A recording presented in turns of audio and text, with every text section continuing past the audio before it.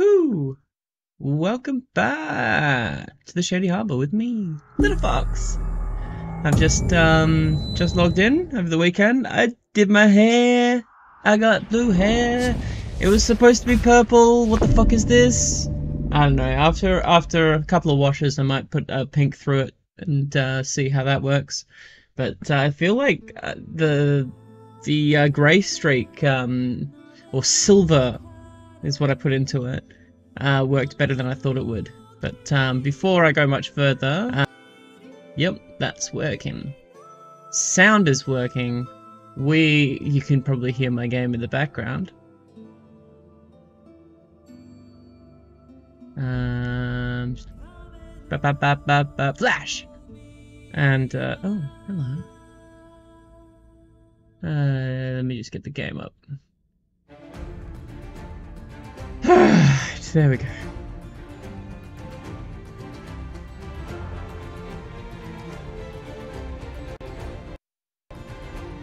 There we go.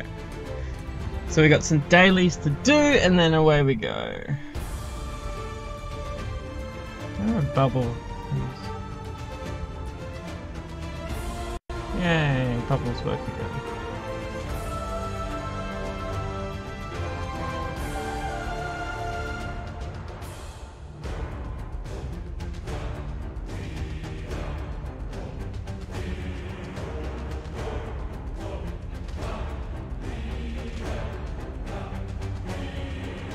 While I do that, I'm gonna crush some cans, because I forgot to do this.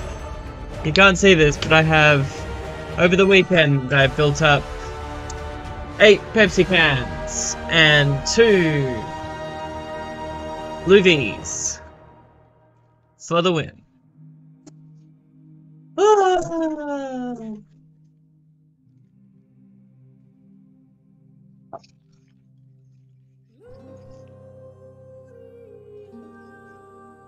Clerical work. Are terrible at me. I'm supposed to be entertaining. I'm doing the cleaning. I've seen people like make like can crushers. And I'm just like, but my hands, my hands are the can crushers. So I guess it is easier than you would think to uh, like cut yourself while doing that by accident. So yeah. Alright, I'm gonna figure this shit out quickly. Okay. Oh yeah, oh I wonder if... Oh gosh. Lots of items have sold. Holy moly. Bloodthorn Shield. Taking it. Taking it. Oh, delete it. I sold a bunch of shit yesterday on the store. Uh, the guild store. I need to donate, actually, to the guild. I'll do that today.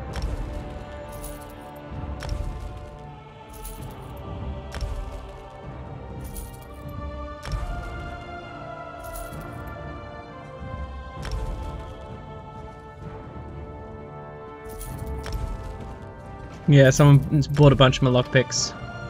I just sold them super cheap, because, like, fuck it. How much did that net me? Oh, yeah, 4,000 also. Oh, 3.6 gold. Alright, um... Check my shizness, and then, uh, yeah.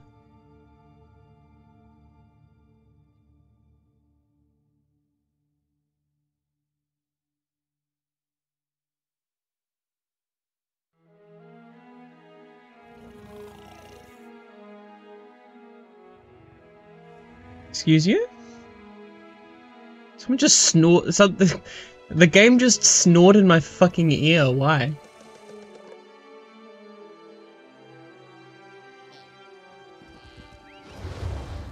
It was creepy. Oh, it was a Clannfear. Ah, I see. Alright, research. Nothing. Research? Oh, time to research. Oops, wrong button. What are we up to here? Greatsword, huh? Anything I can do with greatsword? No. I'm sure. Yes, Curious. the Rubedite cuirass of health. Calcinium.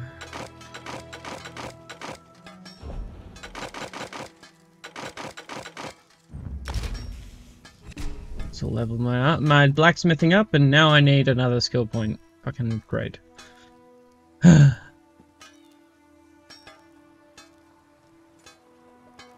Excel spreadsheet up now. Ah, no. Okay. I don't want a new one. I want this one.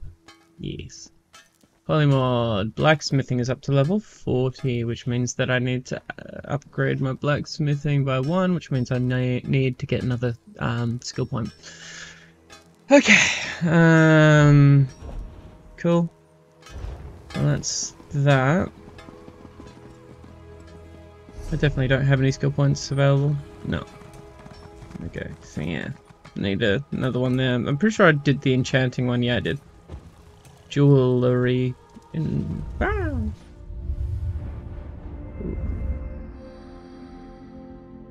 What's next? This one. Offensive penetration. Wow.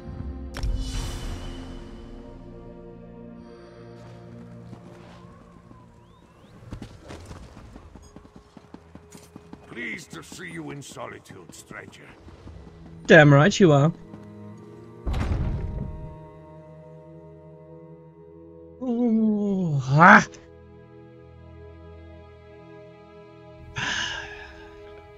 My reaction when I drop my can. Awesome. Pardon me.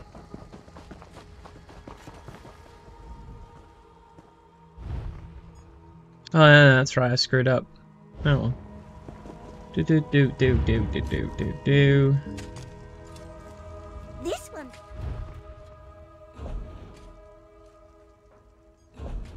Do do do do do.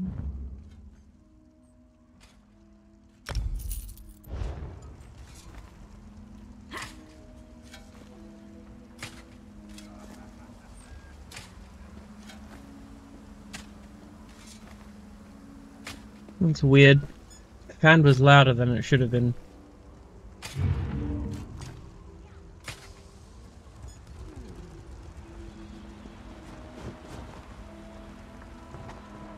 Stendarr protect us.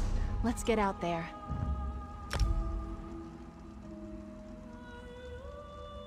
And we move on to the next one.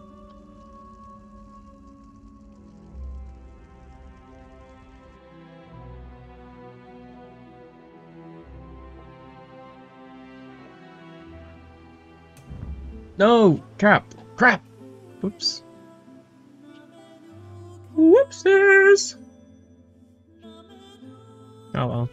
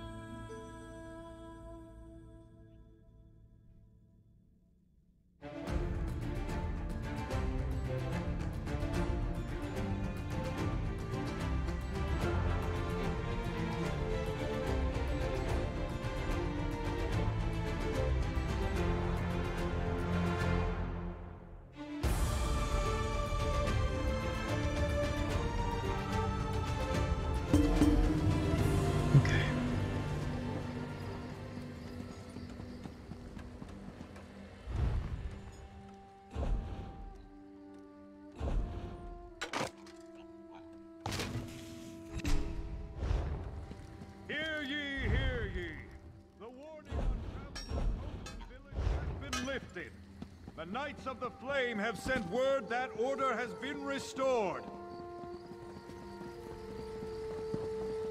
Well? Hmm. Fucking...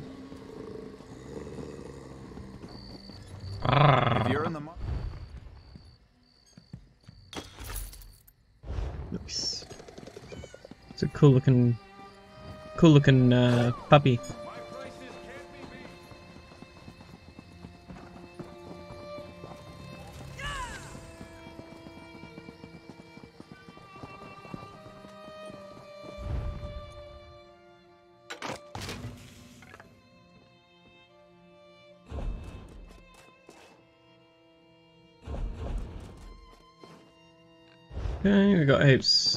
Time to wait for that shit.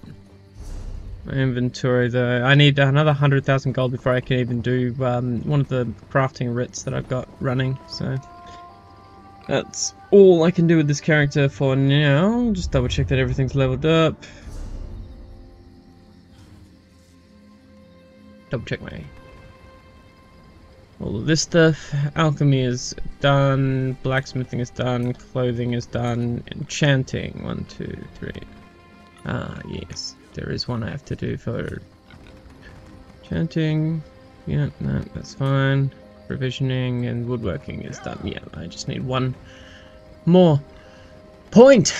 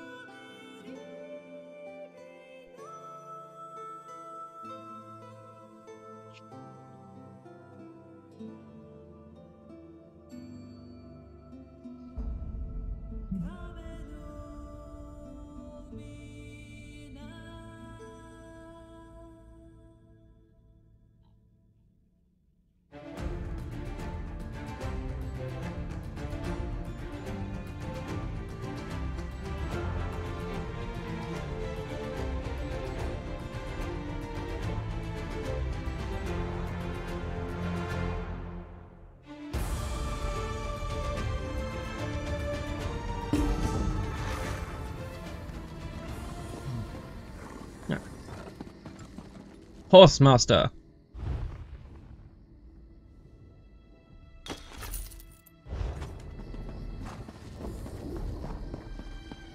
It's gonna be cool once it like is completely upgraded.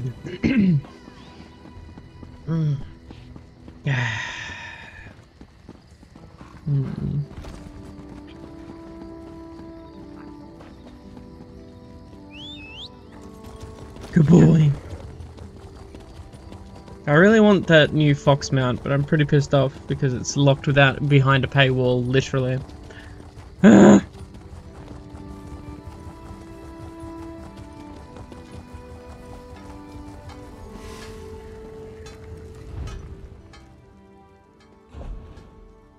Anything to research today? Nope. Not even tomorrow, perhaps. Perhaps. Perhaps. Uh. Zero. Alright, double check. What do we got here? Four, four, four. Alright, so the ones with three are gonna be fine.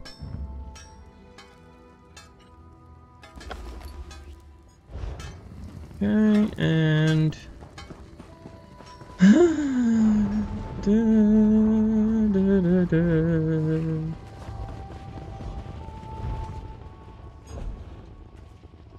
Got another two days in that one. You can't keep up. Those that can't keep up get left behind. Who the fuck is that Wardo Calithal who's like such a bitch all the time? It's like I'm not your I'm not your soldier, bitch. I'm a merc. Chant materials. I'm not gonna even bother looking at um oh maybe I'll look at the Ah, crafting is I haven't put anything into warfare or fitness because I haven't decided how I'm gonna build this character. Probably for I I, I want to do like a debuff character, but like there's no real there's not a huge amount of um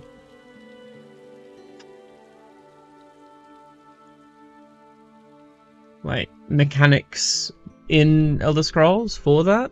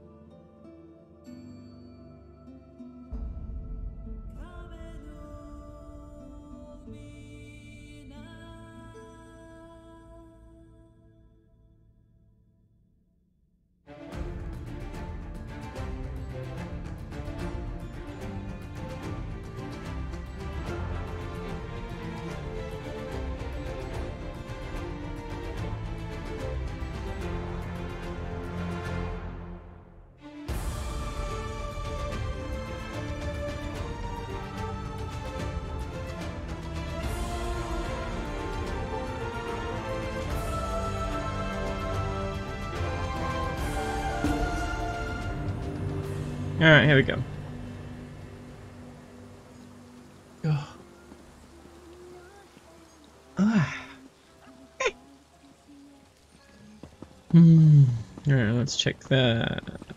Research. Progression. Mm -hmm. Day 17 hours. That looks cool.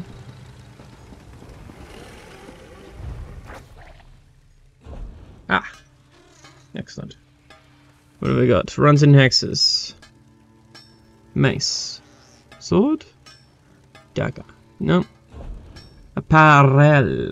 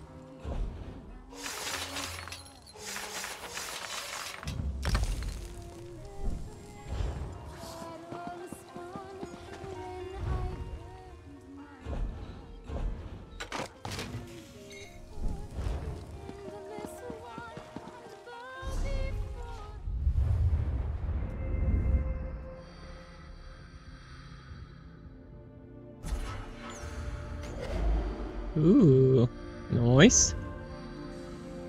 Um, where was I? Here, I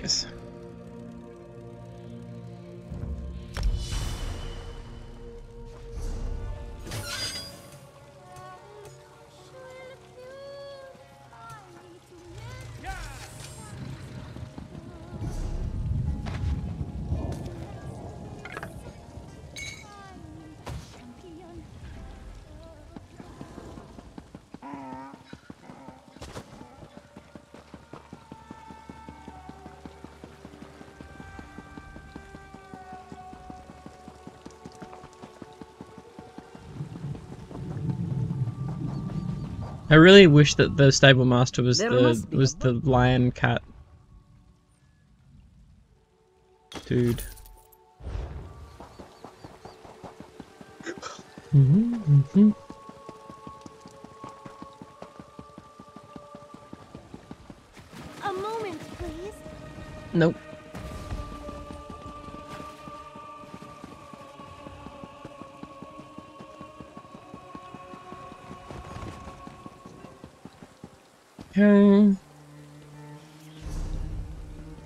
that's all of them.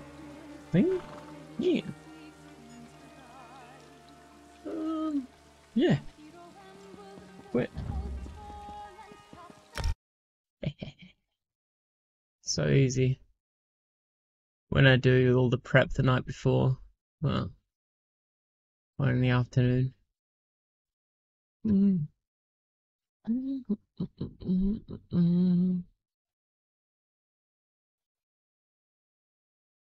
Mm.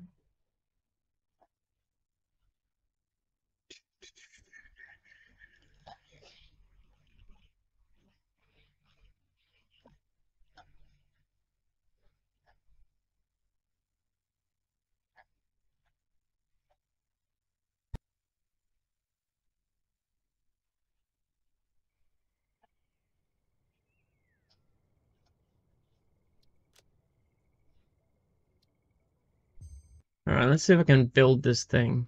Let's start building it.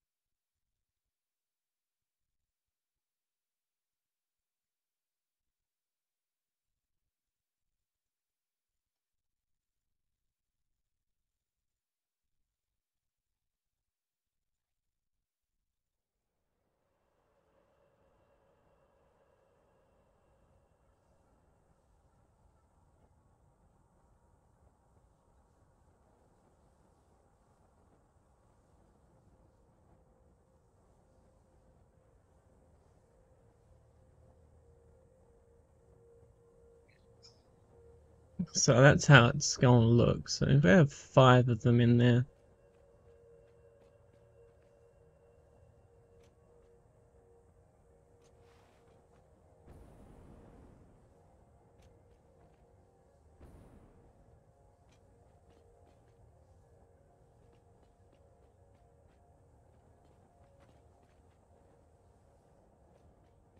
I have a clear view idea of like what I want it to look like though.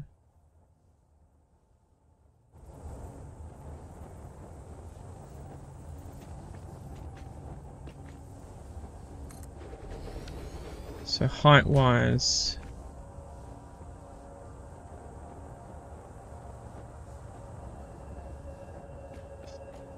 be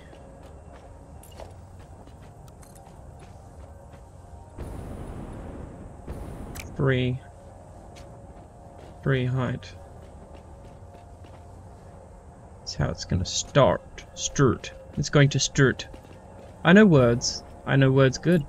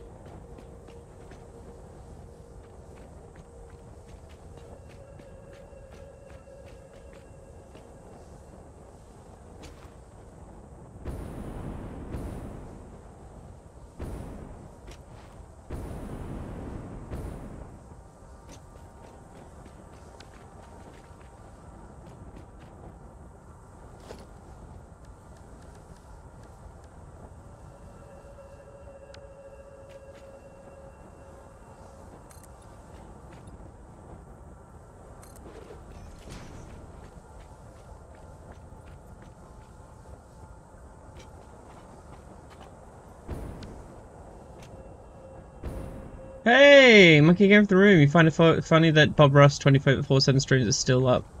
I think that's awesome. It's one of my favorite things about the internet. Is stuff like that.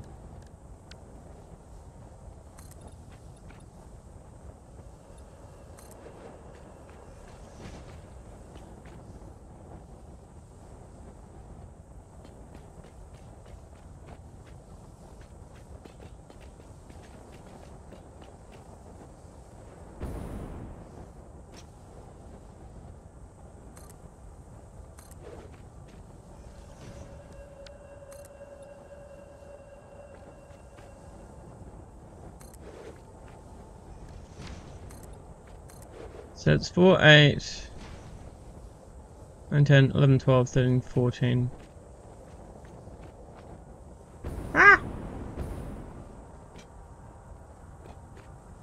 15, 16, I guess.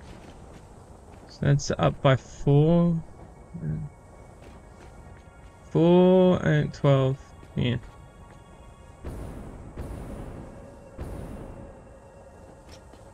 I really want to see if I can make this look cool.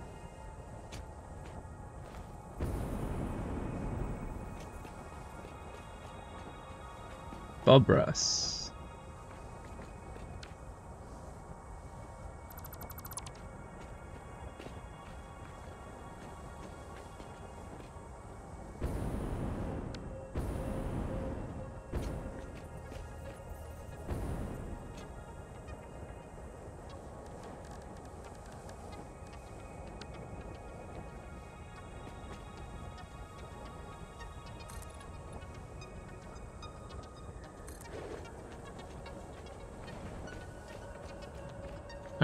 How I'm gonna do the curve though, or if, if a curve is even possible.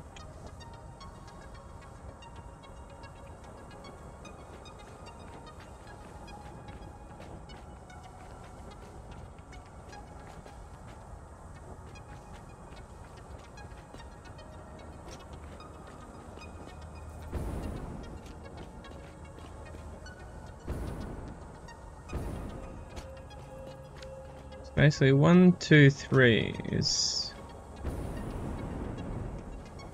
So it's three, three, three.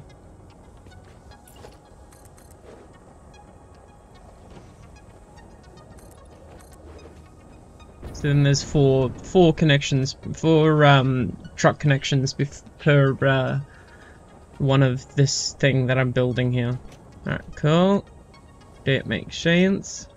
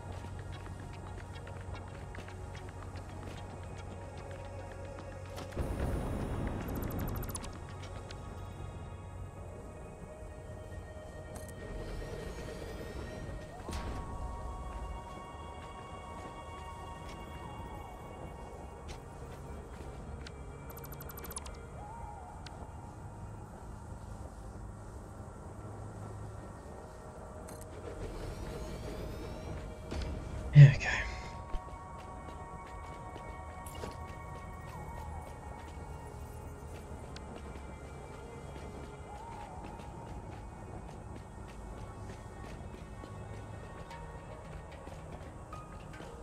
Alright. I need to fix this this road bit as well because I've screwed this up. Basically, this all needs to come in by half a half a thing.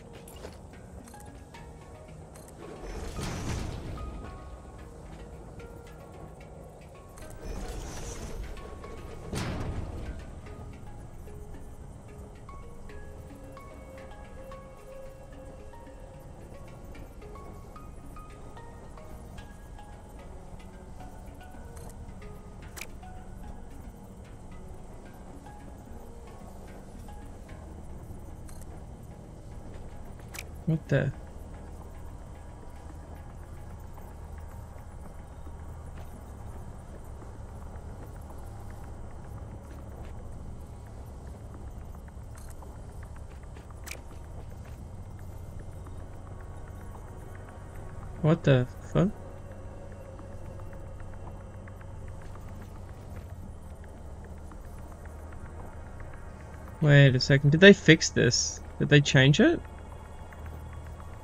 Ah! Wait a second.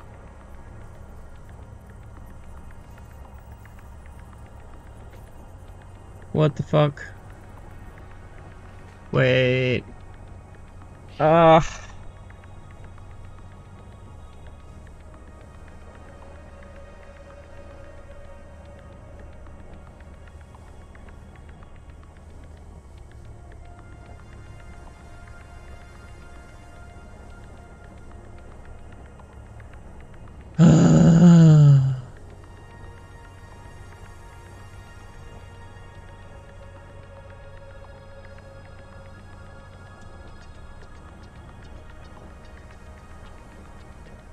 think they may have fixed this whole system of everything working in a particular way. Which, uh,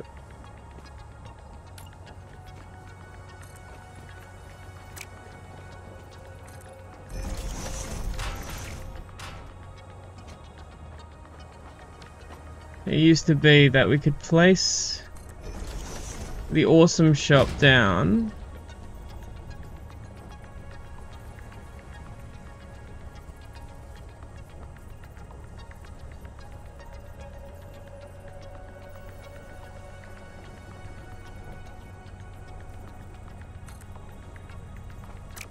I think I fixed it. Oh, you fucks. You fucks! It's alright, that's alright, that's alright. Oh, fuck. Oh, gosh.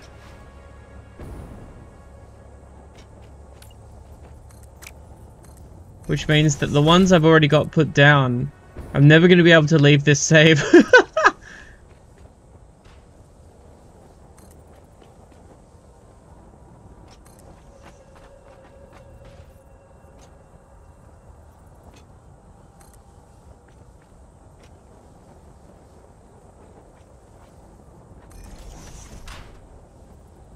What the fuck? No. Fuck. Now. How am I gonna do this then now? Shit. Shit.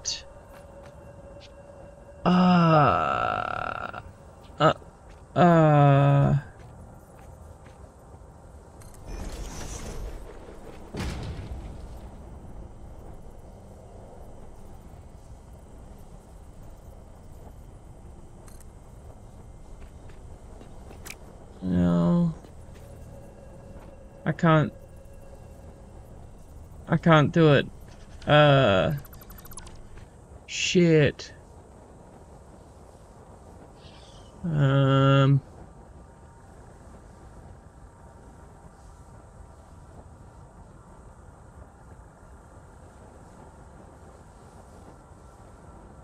Oh dear.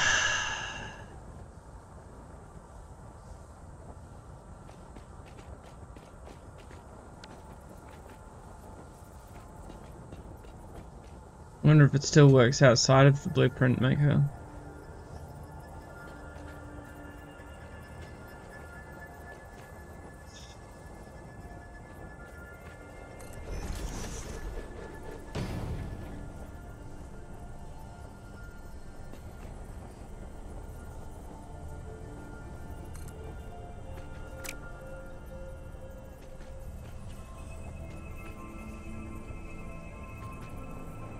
Shoot.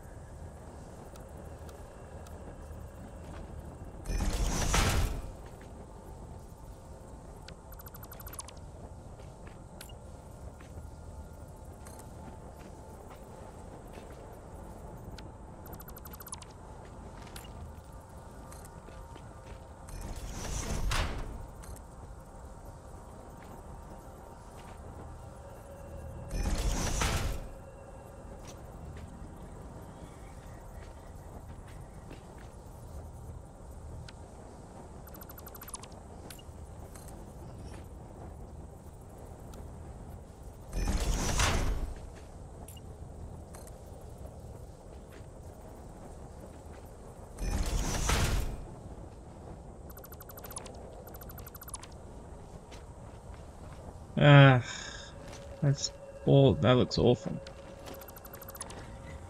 Dear, dear me. Uh, maybe there's other buildings that it hasn't been fixed on. Let's try this one.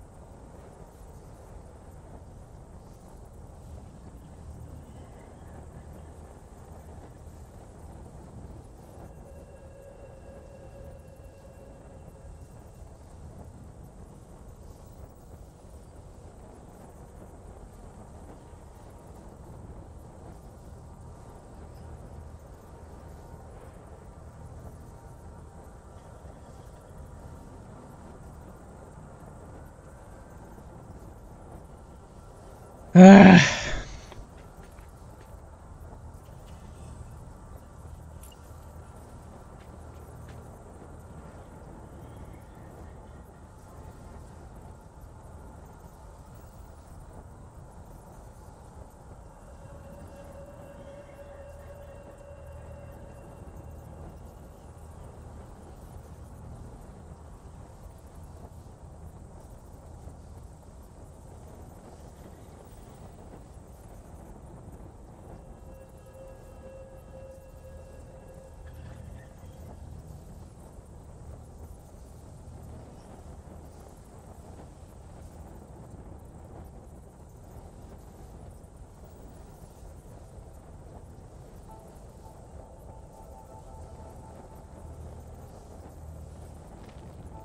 Use beams to put it right next to the machines.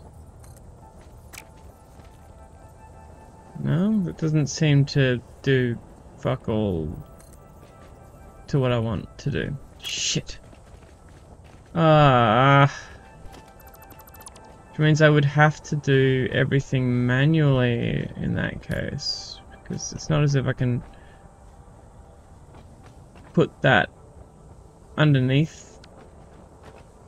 Unless I figure out a brand new way how to glitch things.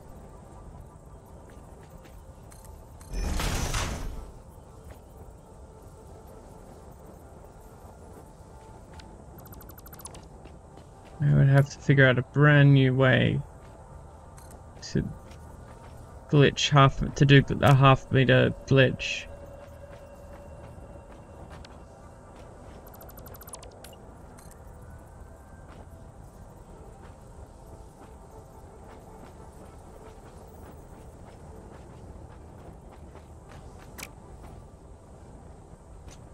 Since it appears as though this doesn't work anymore.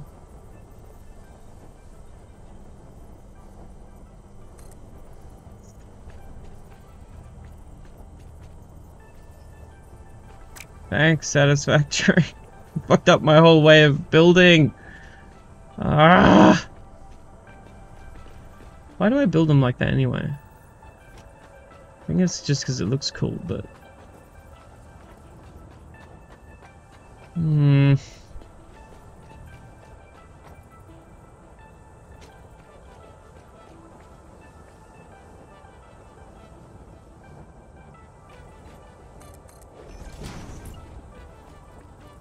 Dare you make the game better and harder to glitch.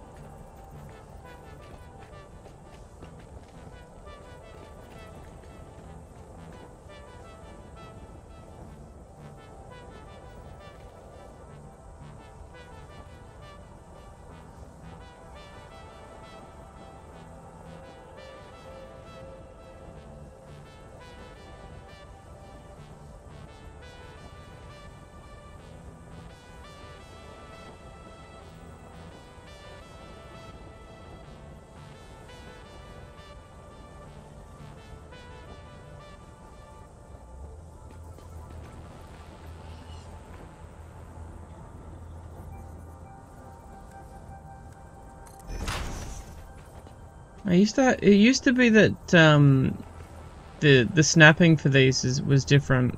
So.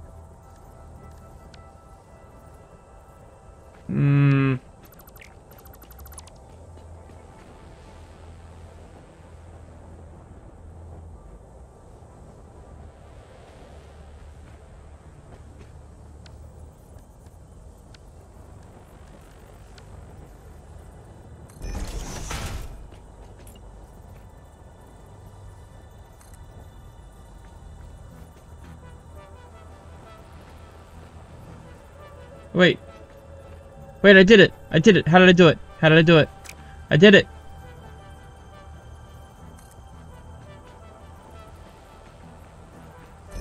Aha! Okay. Okay. Woo! I figured out a way to do it. Woo! Oh, thank goodness. I thought I was worried that I would never be able to make things the way I normally made them ever again, so... Yeah. Like, far out, that's, uh...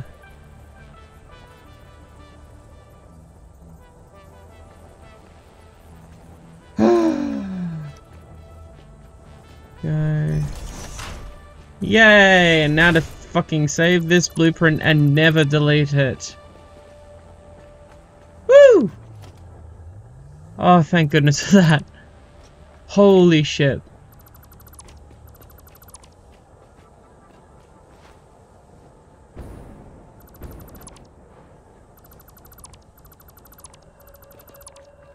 Thank goodness.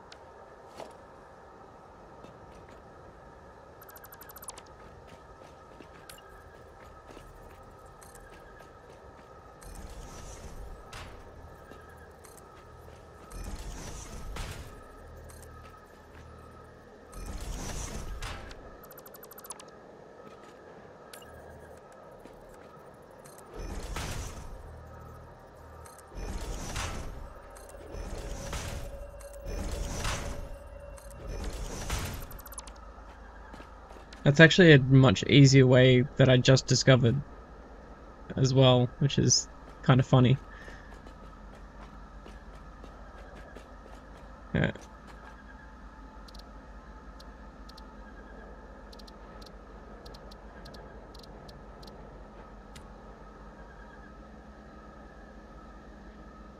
Wait, what is it called? What did I call it before?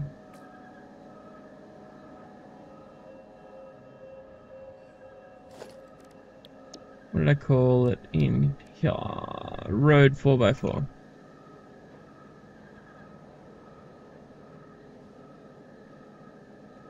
Four by four. Yes, that's fine. And set directory.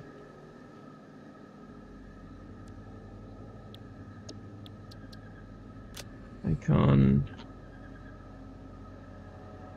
Asphalt. Where are you?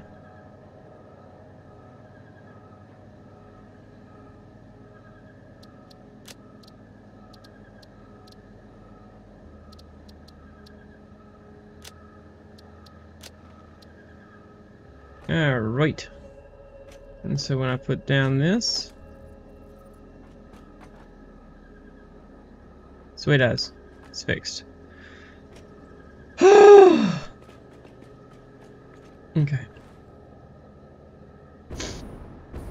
Okay, that's... And now that I know there's an easier way to do it, I can just do this.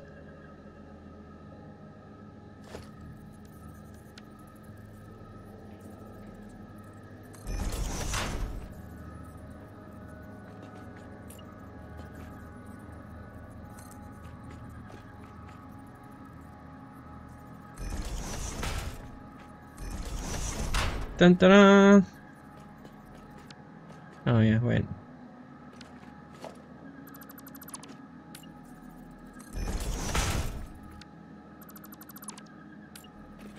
This is actually such a such an easier way to do it. Oh my gosh.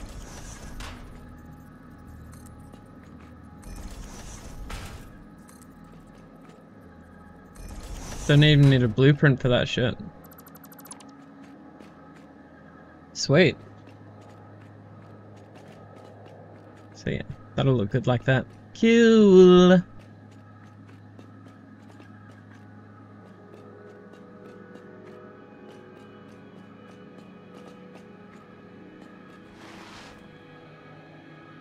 I will do it one by one though.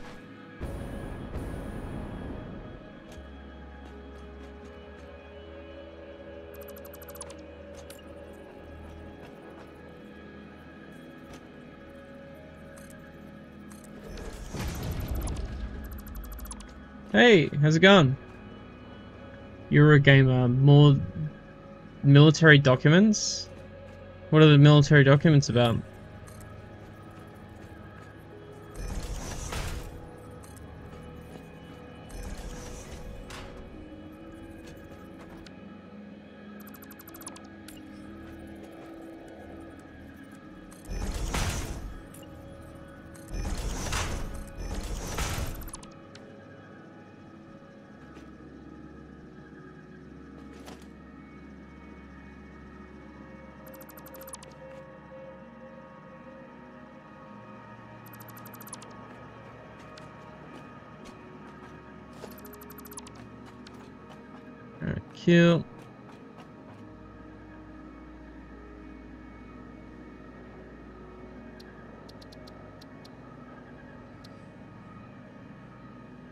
Uh, military documents.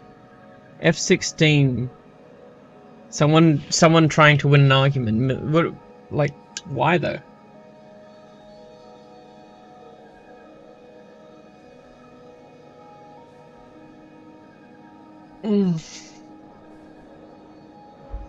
Not unusual for, uh, for the military to be pretty shit at uh, doing that stuff, isn't it? Alright, now I've got that sorted.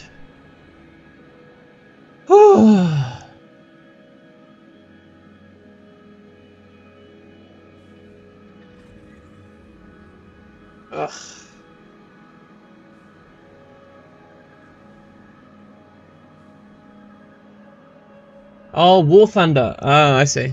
On the forum.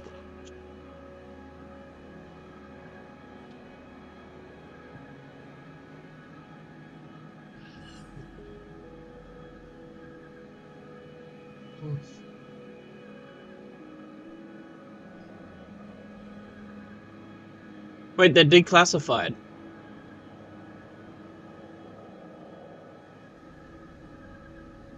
So they, so they just, I don't know, that seems pretty normal to me.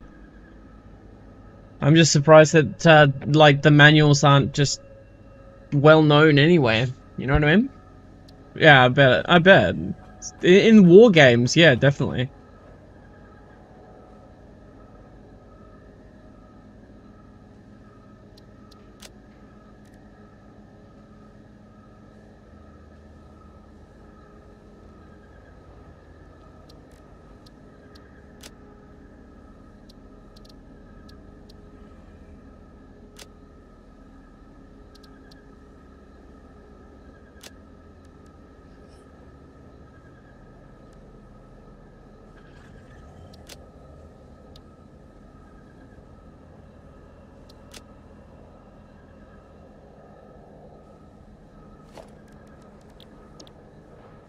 Here we go. Now I can put down this one if I need to.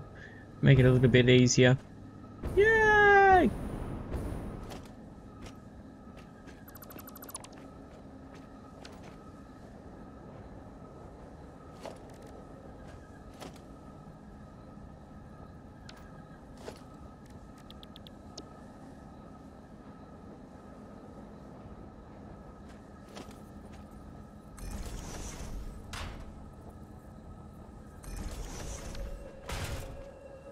Haha! It's looking good.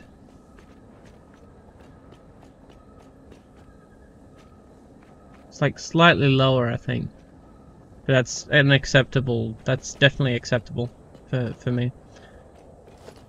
Does mean that all of these roads are wrong though, but I can fix that pretty easily.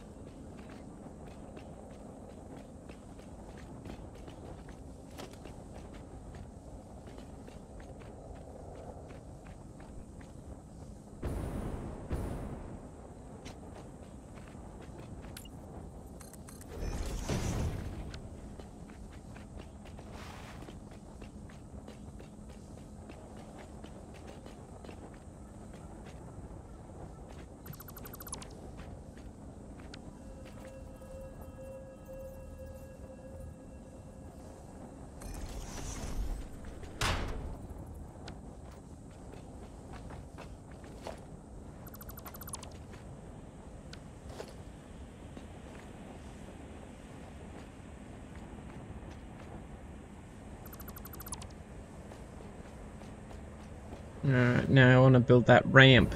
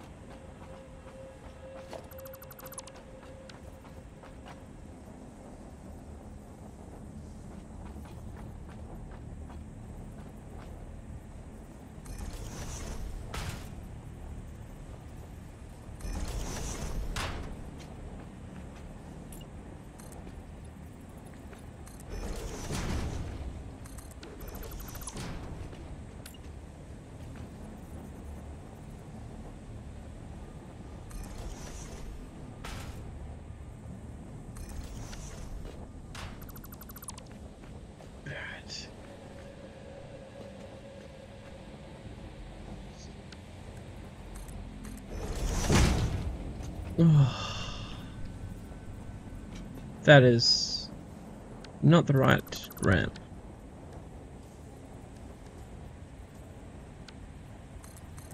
So yeah, I don't know. I, I don't know. I don't know how to react to that. Sorry. It's not really something I'm usually interested in too much. Um, I think it's pretty cool that they leaked the documents. Really? I think that's a pretty cool thing to do.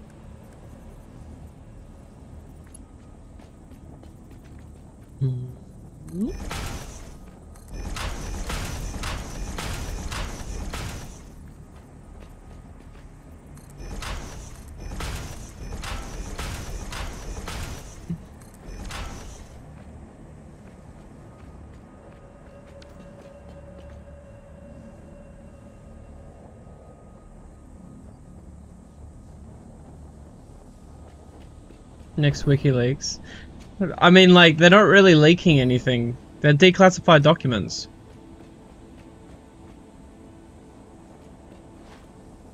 It's the equivalent of, like, I don't know, just doxing someone.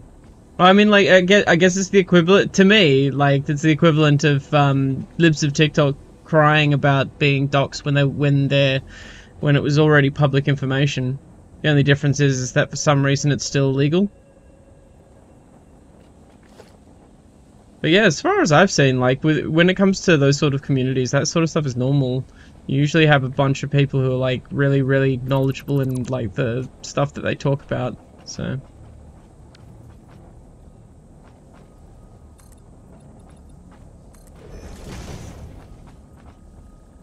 Some of it was classified. That's so weird. What were they even trying to, um, what was the argument even over though?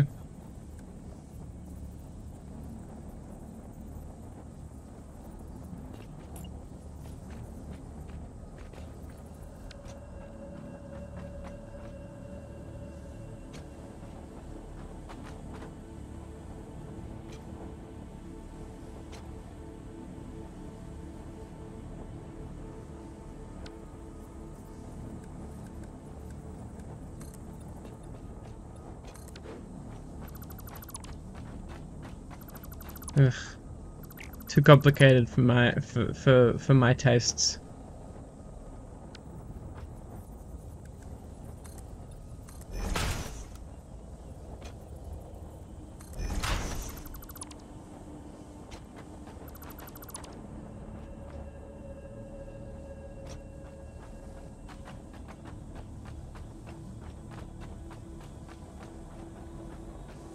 Oh yeah.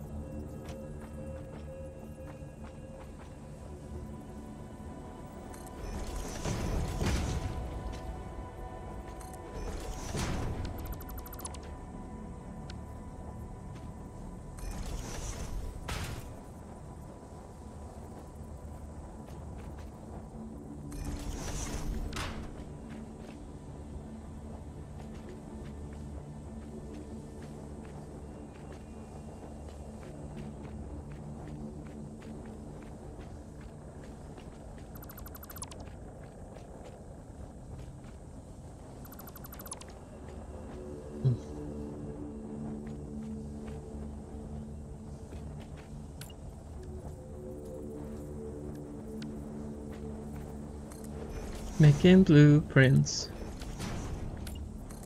Make it easier for me to make what I wanna make.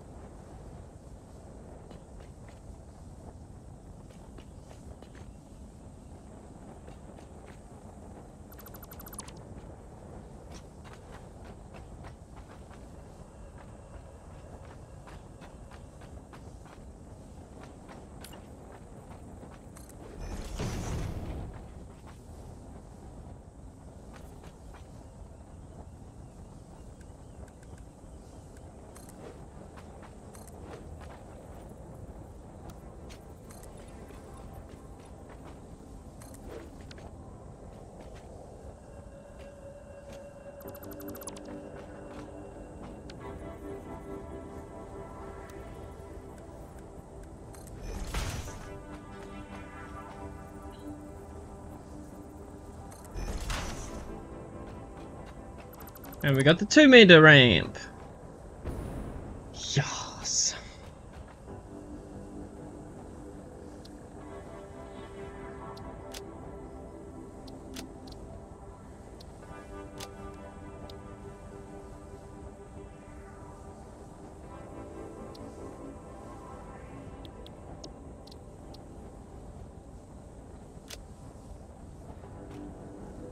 Just need to do the four meter one now.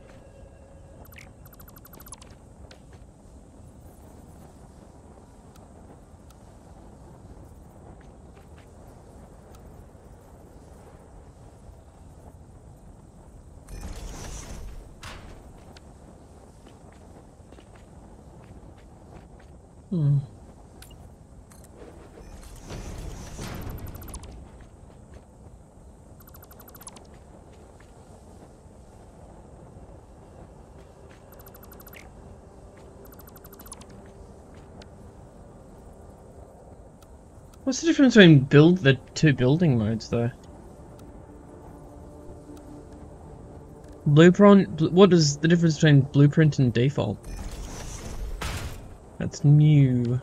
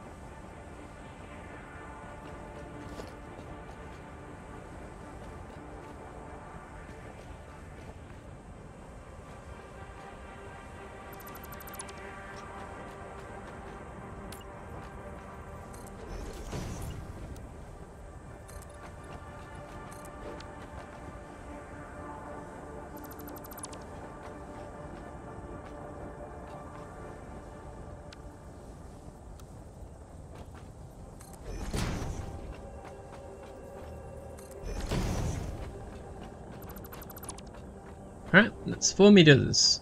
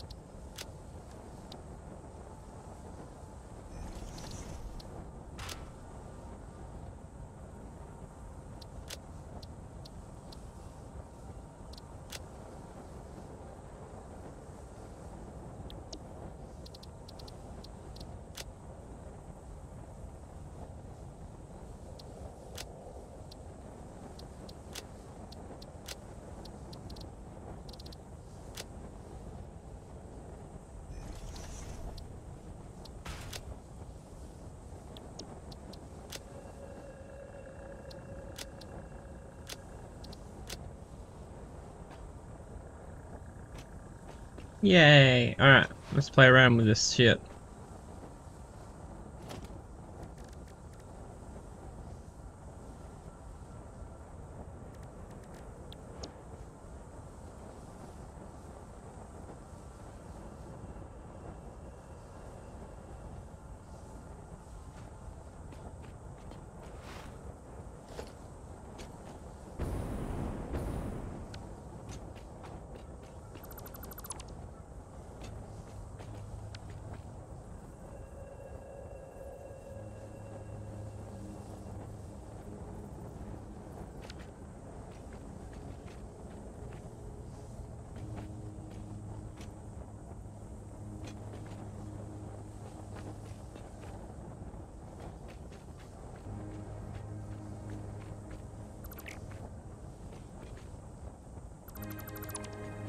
Oh, whoops.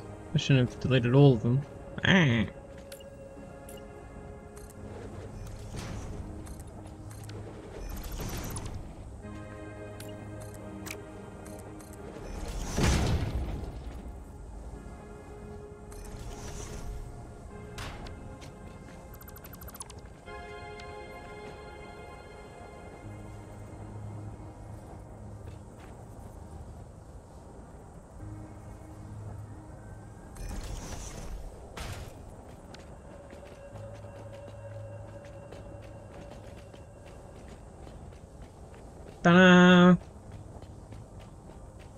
Excellent.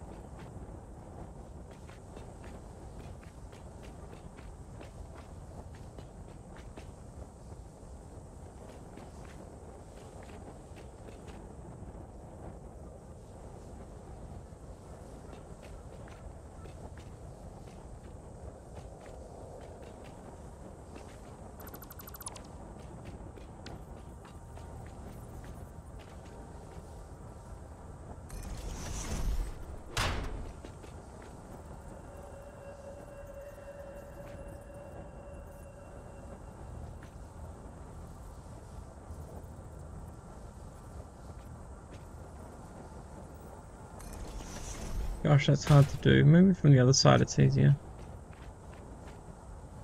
Ah yes, much easier.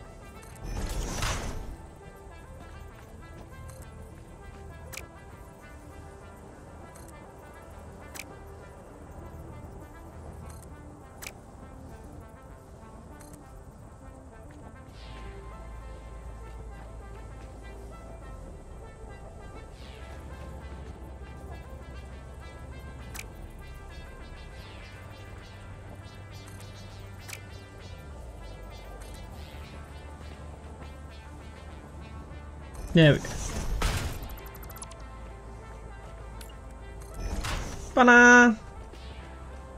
So much easier. Oh my gosh. Holy shit.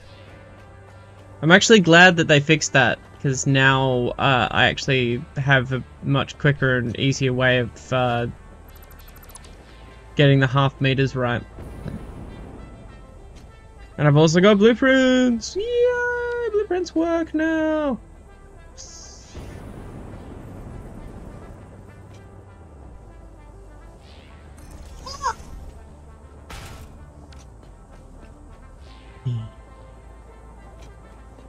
There we go.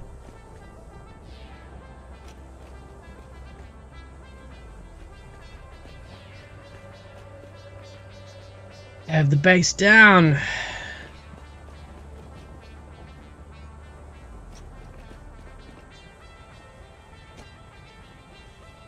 It is 8.11. Alright, so I'm going to take a quick break, and then when I'm back, we're going to start doing talking about some stuff. We're going to talk about we'll do some we'll do some interesting shit. Um, so don't go anywhere, or do either way. I will be right back after these short announcements. Bye.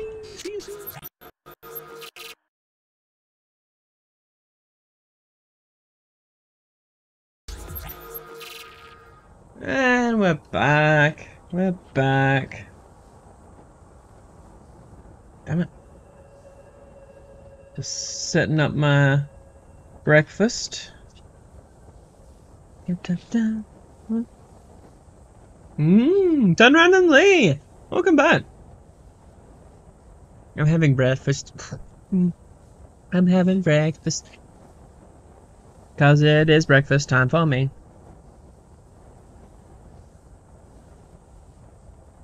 How are you today?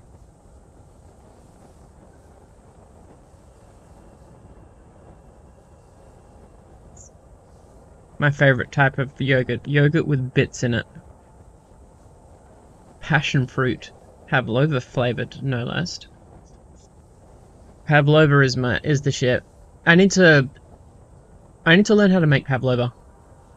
Do you know what I was trying to look for recently? I was searching for uh, masa harina. I wonder how to pronounce actually pronounce that.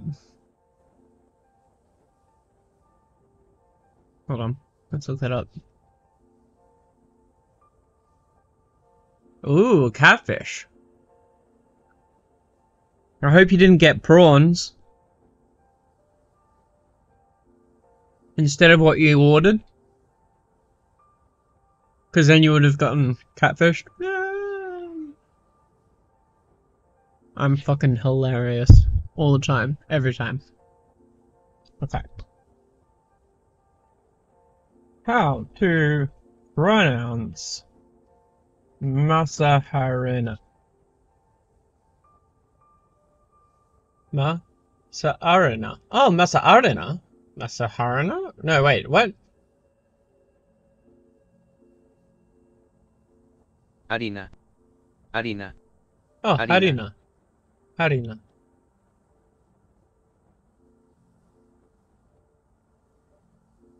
Say it. Masa. Oh my gosh. Massa Harina. Yes, I want to find Massa Harina, which is actually quite difficult in Australia because it's more of an American thing. Mm. Anyway, just came across this. This happened in Perth, and I am uh, curious as to whether it's the same uh, real estate agents that did this as mine. So a Perth woman is asked to pay higher rent, then finds landlord didn't authorize it. This is amazing. During the pandemic, Alex's property manager told her she had to start paying more rent, but her landlord didn't know anything about it and hadn't authorized a rental increase. Um, Alex's difficulties with her Perth rental began in May 2020 when she and her housemates' work hours were cut in half during the COVID pandemic and she uh, decided to ask for a reduction in the $495 per week rent. That's insane. That's so expensive. A property manager gave them a form to fill in. They would speak to the owner, but any rent reduction we received would be need to be paid back in full on a play- payment plan. Um, that's not legal. That's a lie. In Australia, like you can you can fill a, in a form, but you don't have to pay back the money. It is a form to request a rent reduction, as in you pay less rent. It doesn't need to be paid back. That's disgusting. And then they were told that the owner would not grant a rent reduction. In August 2021, she received an email offering a six month lease renewal, increasing the rent to $530 a week. After a long exchange about outstanding maintenance issues at the property, the increase was negotiated to an extra $20 a week. We were given 10 days' notice for the rent increase, also illegal, and told if we didn't accept it, we would be required to vacate instead. We started paying the additional money in early October. But when she was emailed a copy of the new lease agreement to sign on October 31st, she checked it carefully and noticed it specified the rent at the previous lower figure.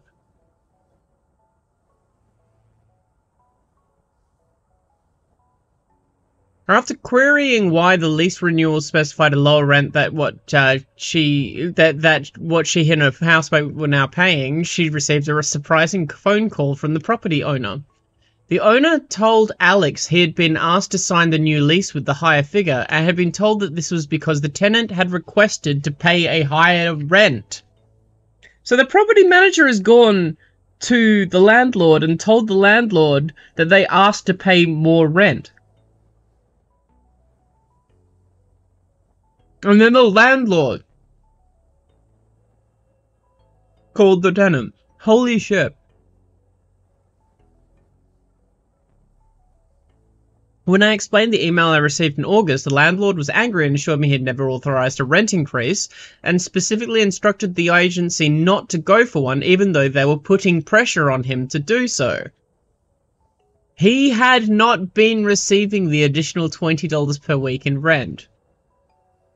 These people are fucking awful, and I I'm pretty sure I know exactly which rental agency did this. Hmm.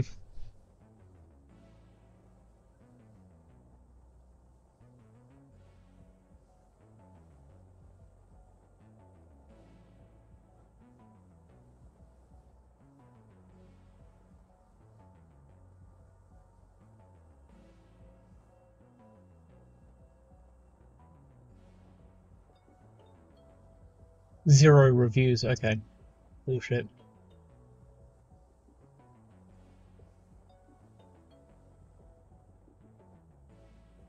Homely.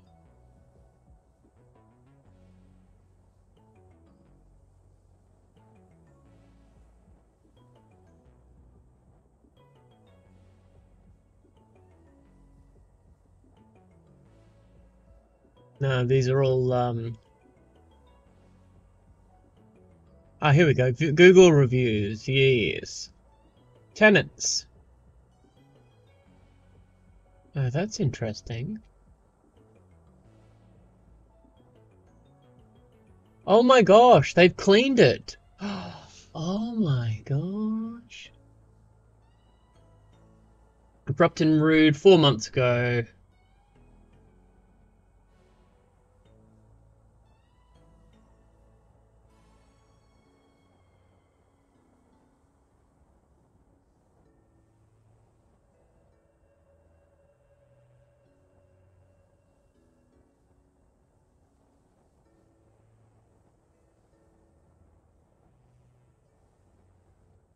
Yeah.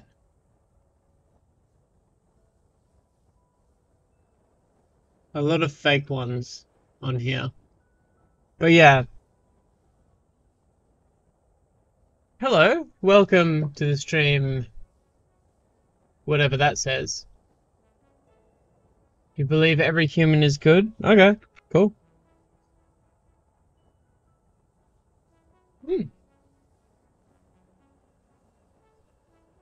I'm okay.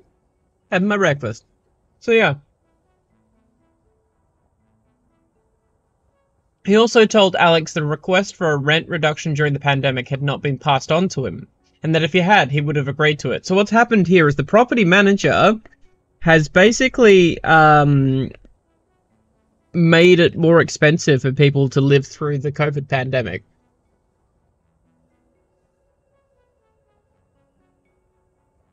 And so happily, eh, happily for Alex and a housemate, the landlord has taken over the management of his rental property himself.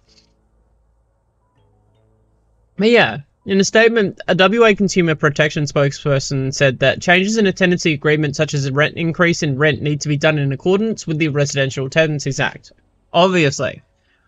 Um, yeah, 10 days notice is in, insufficient as well.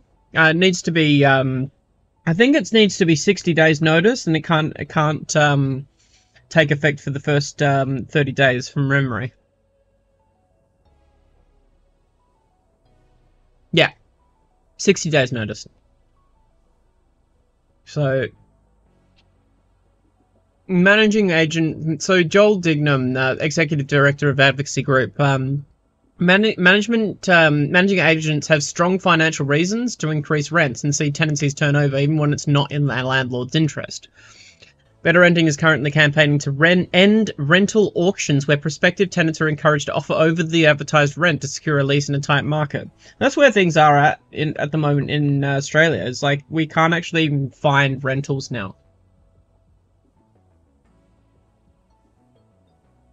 Or afford them. Agents will have an agreement with the owner and they'll get a small percentage of the weekly rent per week. But when they rent out the property, they may get one or two weeks rent as a flat payment. So every time they do a new rental uh, agreement, they actually get a bonus for doing that. Which, again, just fucks over the tenants.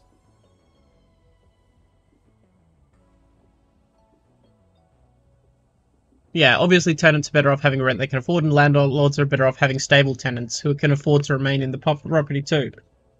There just needs to be like a um a rental cap right now put on every, all of this. Because that's exactly what happened to me. Hmm. They wanted to increase fifty dollars. It's really interesting.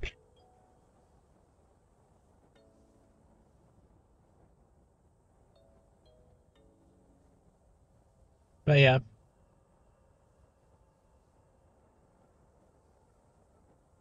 Hmm.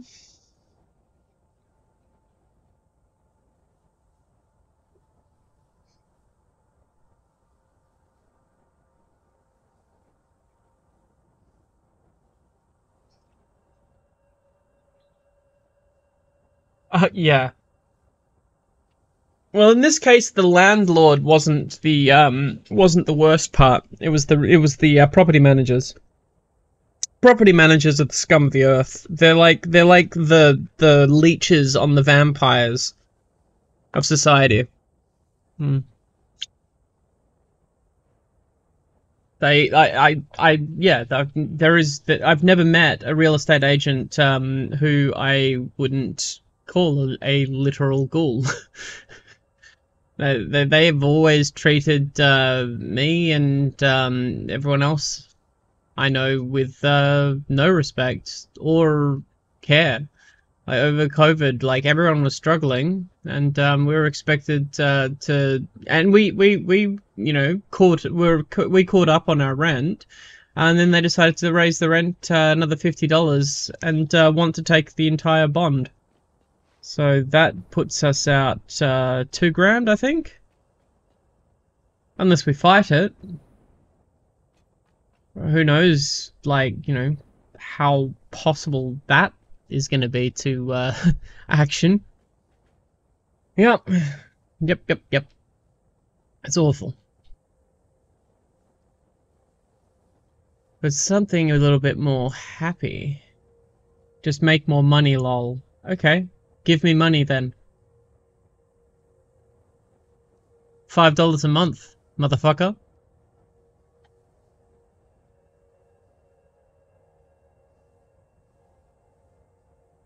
There we go. I was watching this last night. Um, and yeah, th- this actually has some really cool stuff in it. Like video game, video. If if you if you know anything about me, you know how much I love Majora's Mask. Um, Yeah, I, I technically have an OnlyFans, but um, I don't actually post on it. Um, the only reason I've got it is uh, because at some stage I might like um, for funsies do like a, a risque, more risque game um, that I can't, uh, you know, play on Twitch. Oh yeah. Go delete. Delete. Alright. But yeah, this is really cool.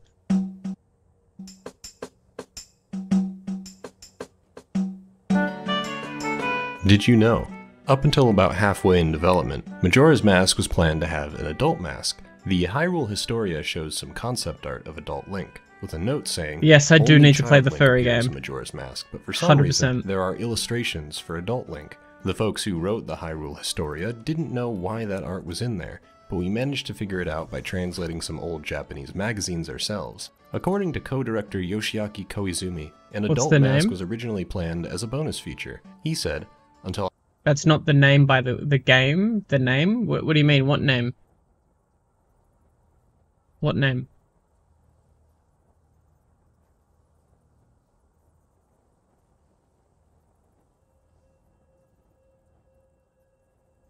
Fan only fans, Fansly. What? On fans me, Fansly. I'm so confused. Uh.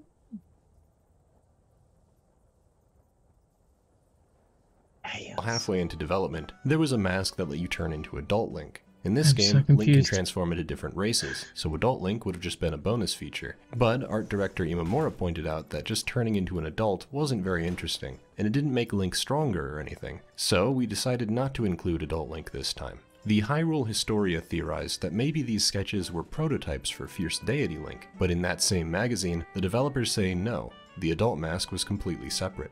The actual origin. I do. I do remember hearing about the uh, the adult uh, mask stuff. Um, when when I was playing it. Um, but I didn't know that. I, I didn't know the fierce deity mask and the um and the giant's mask were got, were originally the same thing.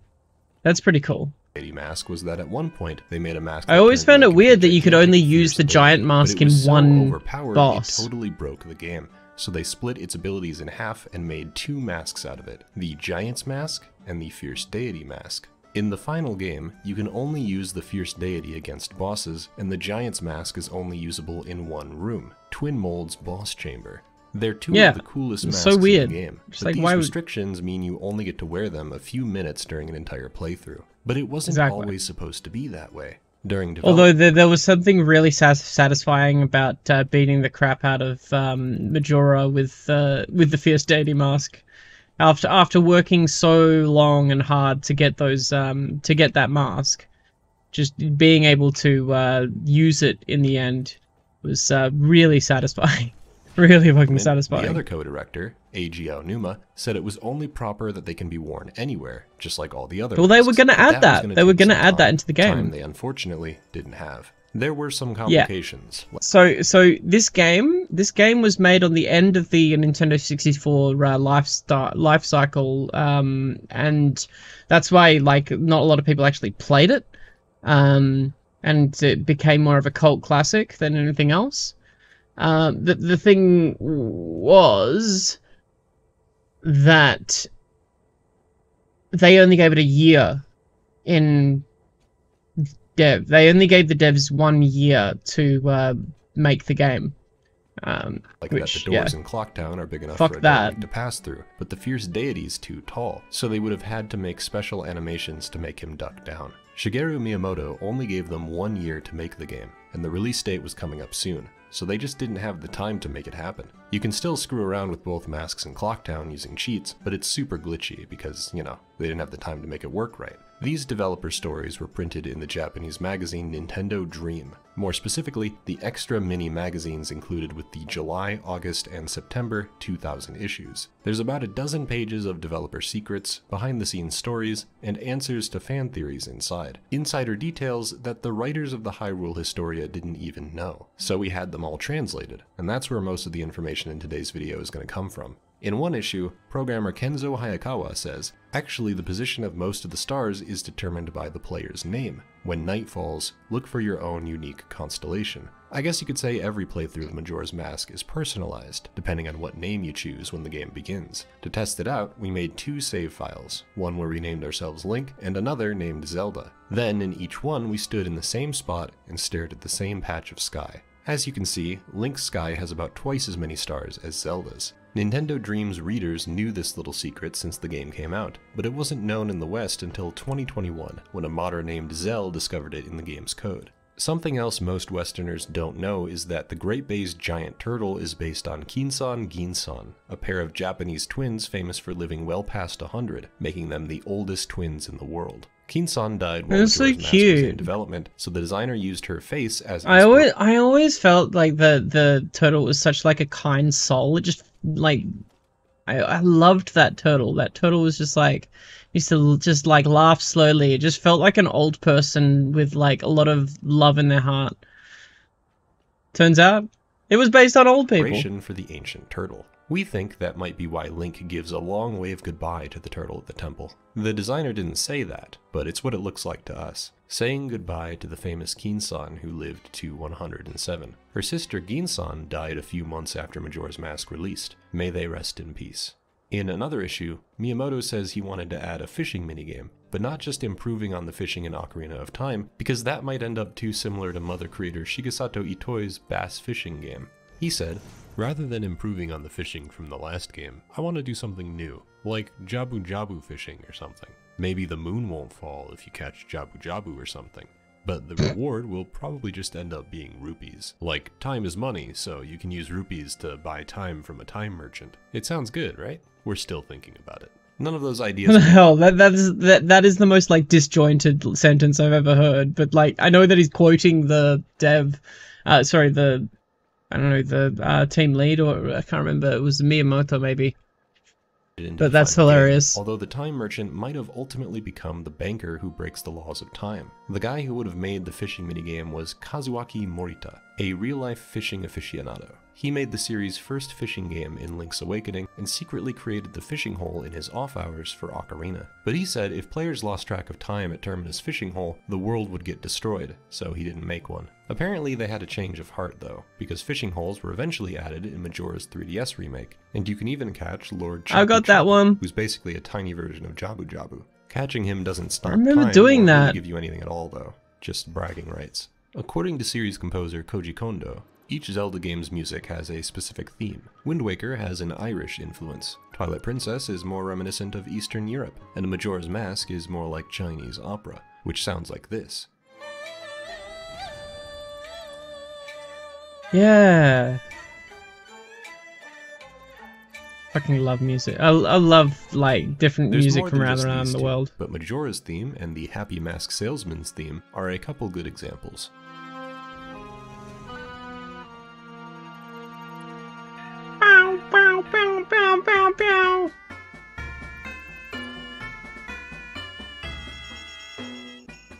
In another issue, the cinema scene director says only half the cutscenes made it into the final game. One he specifically mentions getting cut was a great fairy teaching Link how to do a spin attack. That scene's still on the cartridge though, and was discovered years later, along with cutscenes for the other four fairies in Termina, although they're clearly unfinished. One that's almost finished shows Link having to do sit-ups and push-ups to earn his double defense upgrade. So instead of the fairies just giving Link his rewards, it seems they were originally going to make him work for it. Unfortunately, it appears most of the other Like the the thing is, I don't know. I don't know whether it's just an implanted memory at this point, but I feel like I remember that scene, like of of of like having to you know do that for the fairy. Ah. But I must I must just be like remembering things wrong. But I feel like I did did that that animation did play back in the day when I was playing it. So maybe maybe I'm just like insane. scrapped cutscenes got erased to free up cartridge space. A lot of ideas had to get scrapped because of the one year deadline. In one of these magazines, Miyamoto says, a lot of people ended up working overtime One- due to the sheer yeah. volume of work that had to be done. Suffice it to say, this was one tough year, I assure you. As long as it was finished, anything was acceptable. I made it clear Yeah. that that's what was most important. At the start, the staff seemed pretty stressed out. They were like, there's no way we can make it in a year. Toward Yeah, I, yeah, buddy. I don't think the issue was them like worrying about getting the game completed. I think it was like crunch. I think that you know, like they would like you you were destroying your workers in order to make a fucking video game.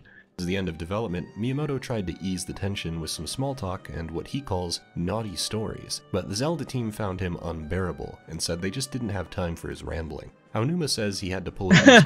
Yeah, yeah, naughty stories. This sounds like Blizzard. This sounds like just this just sounds like Blizzard shit. one Fucking all-nighter hell. and didn't even have time to play the game start to finish before it released. Majora's That's writers fucked. revealed that some of the NPCs are actually speaking for the developers. Scriptwriter Mm-hmm. Mitsuhiro Takano said, we put our feelings into the mouths of Termina's residents. Like when work was getting backed up, we wrote one carpenter to say, Damn, I'll have to stay up again. I wonder if I'll finish this. And damn, guess I'm staying up again tonight. I wonder if it will be ready in time. Another example I wrote when our work was interfering with home life was the mayor saying, Don't tell my wife. And after we completed development, I wrote the mask salesman to say, You've met with a terrible fate. I fucking love that. You know, the the most creepiest fucking line in the game, one of the most like iconic lines in Majora's Mask, was the result of workers pissed off about crunch. That just says everything about the gaming industry at the end of the day. Like how how much human suffering, how much human suffering uh, goes into like making the things that we love and enjoy. It's depressing, and it's so fitting that such a depressing game like Majora's Mask would like have that. Like half the, I wonder like how much of that like depressing feeling you get playing playing that game comes from just how depressed the people fucking making the game were. It's just absolutely ridiculous. Like we get treated so fucking badly. In other words, the guys who worked on Majora's Mask felt they'd met with a terrible fate to have to make a Zelda game with such a tight deadline. At one point, Yeah. they went to a co-worker's wedding and Probably a terrible fate having to work under a guy who tells naughty stories in order to uh, raise morale. Uh, hmm. Yeah, I don't know about that. I yeah, unbearable rambling. It sounds like he probably stole stole breast milk and uh, made made made all the men go get drunk and uh, crawl under all the desks. Fucking and not to mention the amount of um, women that worked on the game that wouldn't have even been um, um like put in the credits or like their names changed to pseudonyms. It's just disgusting. still weren't off the clock. Takano remembers, the groom had his hairstyle done like Kafei's. When we saw that, we thought, we can use this. We were hardly paying attention to the wedding ceremony, just saying, this could all be game content. Koizumi chimes in, it was right around that time there was an uproar over North Korea's Taepodong missile, and so we were joking around like, is it really a good idea to have a wedding when we're on the brink of destruction? And Takano, Aonuma, and I were all excited at what good material this could make. The thought The world's gonna end. Let's make a game about it.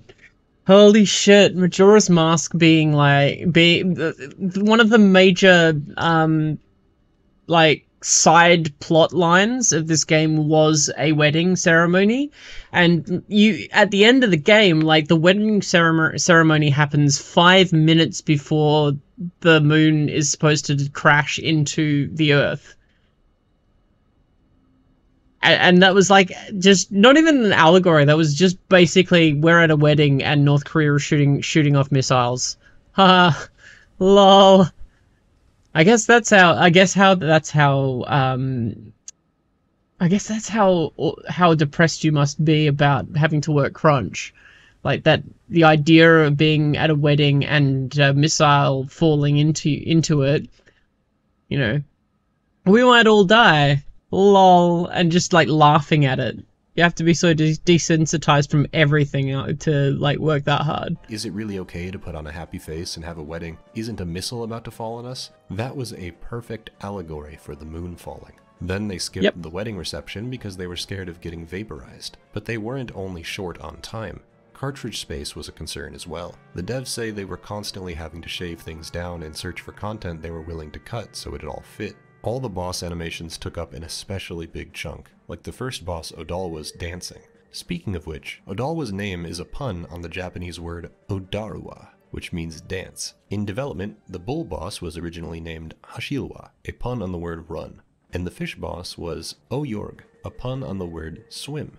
Every boss was named after the verb they represented, but all their names ended up getting changed, except Odolwa, who's the only boss in the final game still named after his verb to dance. Majora's Mask is sort of the black sheep. He was so series, cool. With a story, setting, and tone very different to what came before. But there was one earlier Zelda game that was also pretty unique Link's Awakening, which took place Yes! entirely in a dream. I've played that game's game. weirdness was mostly thanks to one man, Yoshiaki Koizumi. He's long had sort of an adversarial relationship with Miyamoto when it comes to storytelling, like when he snuck Rosalina's storybook into Mario Galaxy without the big guy's permission. In one of these magazines, he says, I worked on the plot of Link's Awakening. I did the main story, and Kensuke Tanabe wrote the side plots. I made quite a strange story, and afterwards, Miyamoto told me he'd never let me do it again. But I consider that a compliment. I had wanted to do something that wasn't at all Miyamoto-esque. He goes on to say that for the next game, Ocarina of Time, Miyamoto only let him work on a few side quests, like the ones focused on Skull Kid and the Mask Shop.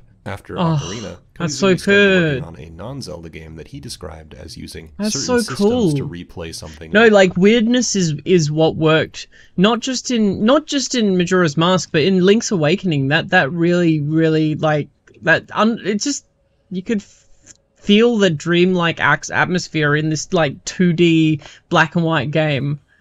Uh, just I love these people. They they just amaze me. over and over. He said, The plan I had was a game that had a fixed time period of three days or a week or so, and the townspeople See, I fixed that's one thing I don't know anything about. Unfortunately, um, I've I've never really played Mario.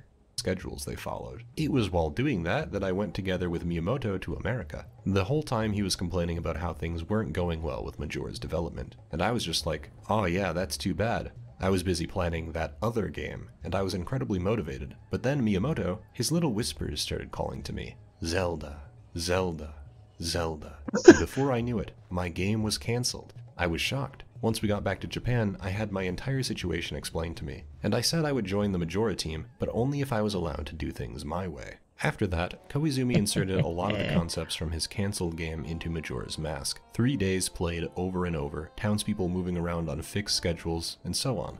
Koizumi That's was so cool. for Like one of the coolest things about the game is how they used all of the um all of the character models uh, and uh, they reused so many assets from the from Ocarina of Time, giving it like if you've played Ocarina of Time um first, it gives Majora's Mask this really really weird atmosphere like that's layered on top of the weird like not just like the the storyline alone is weird. The concepts in the game is are weird as well, but like the way that that that you see all of these familiar assets and like as a child I saw I'm like oh that's this guy but he's doing something different now. Like oh there's two of this guy that this one guy's got a twin now and stuff like that. And oh and there were you know there, there were characters in Majora's Mask which used, which used to be like bosses in Ocarina of Time. And the way they reused assets I I just it just felt to me like just almost it just just gave that we really weird dreamlike aspect to the game. It's it, it just it, it just blows my mind. And like when, when you think about how much of the game was was the result of these sort of like almost happy accidents in a way. But at the same time as well it does make me feel really really guilty for enjoying such enjoying a game in that that was the result of a lot of human suffering. Like crunch is no fucking joke. Um yeah it's it's sad i wish that wasn't a part of the game but it makes sense that it is in the context that uh, you know the the way they railed against the the development developing uh, bosses or whatever. Uh, with the story, had a blonde princess that loved looking at the stars with her mother, but then her mother died while looking up at the stars. There was a shooting star that had land. They were the literal, the person being a mother god that nurtures stars into coming galaxies. Gosh, it's crazy. It's like video games and and the lore that comes with them. Just, there's so much there. This is fantastic. I love it. Everything that happened inside Clocktown, and Aonuma was in charge of everything outside, although Koizumi eventually invaded his territory and took control of Romani Ranch, arguing that it was really an extension of the town. And that's how Koizumi became Majora's co-director, and the game turned out as weird as it did, despite Miyamoto saying he'd never let him do it again. Speaking of weirdness in Romani Ranch, there's a cutscene most Zelda fans will never see, even if they get 100% completion. If you do the milk delivery side quest more than once, sometimes you're only rewarded with a gold rupee, but there's also a chance of getting a more adult reward. A special cutscene where Cremia thanks Link with a big hug, and his face is squeezed between her. Uh, I got that! moves. The game says, I got that! Warm and fuzzy inside. I got that. Oh my You gosh. could get used to this. In one of these Japanese magazines, Koizumi says, that was born out of a mistake. When we were setting up Link's position, we accidentally put him too close, and his face got lodged inside Cremia's model. When we saw that, we immediately wrote up a way to include it in the game. The script Of director course and I did. thought that would be any boy's dream. And the interviewer says, yeah, I know. I was pretty happy about that. The whole development team actually had sort of a rivalry, dividing themselves up into two teams Cremia fans and Anju fans. The two girls are friends, but the game hints at sort of a love triangle, with Cremia having a secret crush on Anju's fiance. When the interviewer asked Aonuma which team he was on, he said neither girl was really to his liking. Others, like cutscene programmer Naoki Mori, had stronger feelings. He said, Personally, I think Cremia, who hides her loneliness by smiling, is a better woman than Anju, who lets her unhappiness bubble up to the surface. Then he asks the magazine's readers, but what do you think? I don't know, I guess let us know in the comments under this video if you're Team Anju or Team Cremia. Besides Koizumi, I don't know. Like, I, I I seem to remember them being teenagers. So like, mm, okay. huge influence on how Majora turned out was Takaya Imamura, who's probably best known as the creator of characters like Star Fox, Captain Falcon, and Tingle. Majora's Mask is actually kind of named after him. According to these magazines, the Japanese title Majora is a mix between Imamura and Jumanji. Yeah, the Robin Williams movie. Jumanji was kind of a big deal back then. Just like Koizumi, Imamura was brought onto the team mid-development when they were really struggling. Interestingly, I though, assume most Japanese games are uh, made without the best worker relations to Japanese workers. Yeah, but they're, they're literally spending day day and night in the office during winter for the first three months to be able to have things like the first area being in the Pokemon sequel. Yeah. Yeah. Neither of them even wanted to work on Zelda. Throughout these magazine interviews, Koizumi and Imamura made it clear they were pretty much forced to work on Zelda. Imamura was offered the job of Majora's art director. He tried to refuse, but didn't have a choice, which turned out to be a blessing in disguise because the game wouldn't have been the same without him. If you'd oh gone Oh to gosh. the 1999 Space World trade show, you'd see the moon didn't have a face, not in the playable demo, and not Huh. even in the promotional art. That's because Imamura added the moon's face about two months before the game was finished, and the moon's tear and most of the other moon related content was created soon after. He told Nintendo Dream, it really tied the whole game together. The moon's face was originally something I drew as a concept art sketch, and it just so happened that I drew a face on the moon, and Koizumi really liked it. Koizumi told me to give the moon a face that looked like Majora's mask. But We fit. him. Not right now. This face. I figured We're- we're- use we're my looking at Majora's mask. Go with a face I like. No one's going to complain, it's fine. And besides, I've got seniority. Imamura says he originally drew the face of one of their superiors, but later changed it to the moon we know today. The inside of the moon was a different so creepy. Like this entire time you're playing this game, and this moon is just like going on top of you as if it's gonna fucking crush you to death. Gosh, they really, re- they really nailed it. Yeah, Miyamoto. Uh, no, I doubt it. I doubt it. Like him talking about the. They're, they're mentioning um, what was it? What was it they called it? Um, uh, uh, I don't know, sex jokes all the time. I think basically how that went. Ugh. Right, so three. right, uh, Adult humor, yeah. Jeez. Alright, so this is one half, I believe, of what it is. So.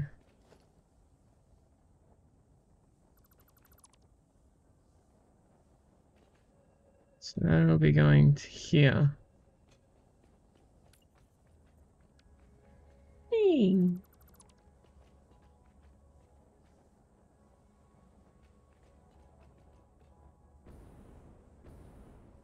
No, I wanted to have it to be 4x4. Hold on. I just Originally, it was more like a graveyard, but later on they changed it to a grassy hill. An idea they got from space battleship Yamato, the 1970s anime generally considered the granddaddy of Gundam and the entire space opera genre. Yamato's plot is actually pretty similar to Majora's Mask. In the game, Earth's threatened by an evil force that's making the moon fall, and Link's gotta go to the moon to save the world at the last minute. In the anime, Earth's threatened by an evil force making meteors fall, and the heroes have to go to the planet Iskandar to save the world at the last minute. And according to Koizumi, Iskandar was the direct inspiration for the inside of Majora's Moon, which is pretty clear when you see them side by side. Explaining why, he said, With the world of Majora being so strange, the inside of the moon being like the planet Iskandar provides contrast by being ordinary. In a fairy tale Yeah. world, it's a realistic world, or maybe I should say a picturesque world, that makes you feel the greatest sense of unease. Clocktown Yeah. changed too. Originally, it was a medieval especially like how open the area is is um in a lot of the game like apart from like termina field um is very open and stuff um but having that that all of that empty space in like the final area you're just expecting something bad to happen because there's so much space for it to happen like everything to go wrong at once like so such a so fucking good at capturing those atmospheres endless low grass plains with a single tree and a hill. Yeah, town. But the devs yeah, and it's like the it's like um the uh subversion of that Japanese trope of having that you know the the lovers tree on top of the hill, like you, this this is the the event you've worked so hard to come to, but at the same time you are dreading that event happening. It's uh yeah, it's it's a really intense atmosphere. felt like it was too similar to Ocarina of Time. Koizumi said, We also weren't happy with how the towns were at that point. Overall, it was pretty weak. So I asked our artist Yusuke Nakano to draw some quick concept art with a pencil. I was surprised to see that he made it all in full color, but those pictures got us the full go ahead to go in that direction. He suggested we Yeah. set it during a carnival, and we immediately decided to go with that. One of the guys who had to do the grunt work of actually rebuilding Clock It's it's it's liminal spaces. That's what it is.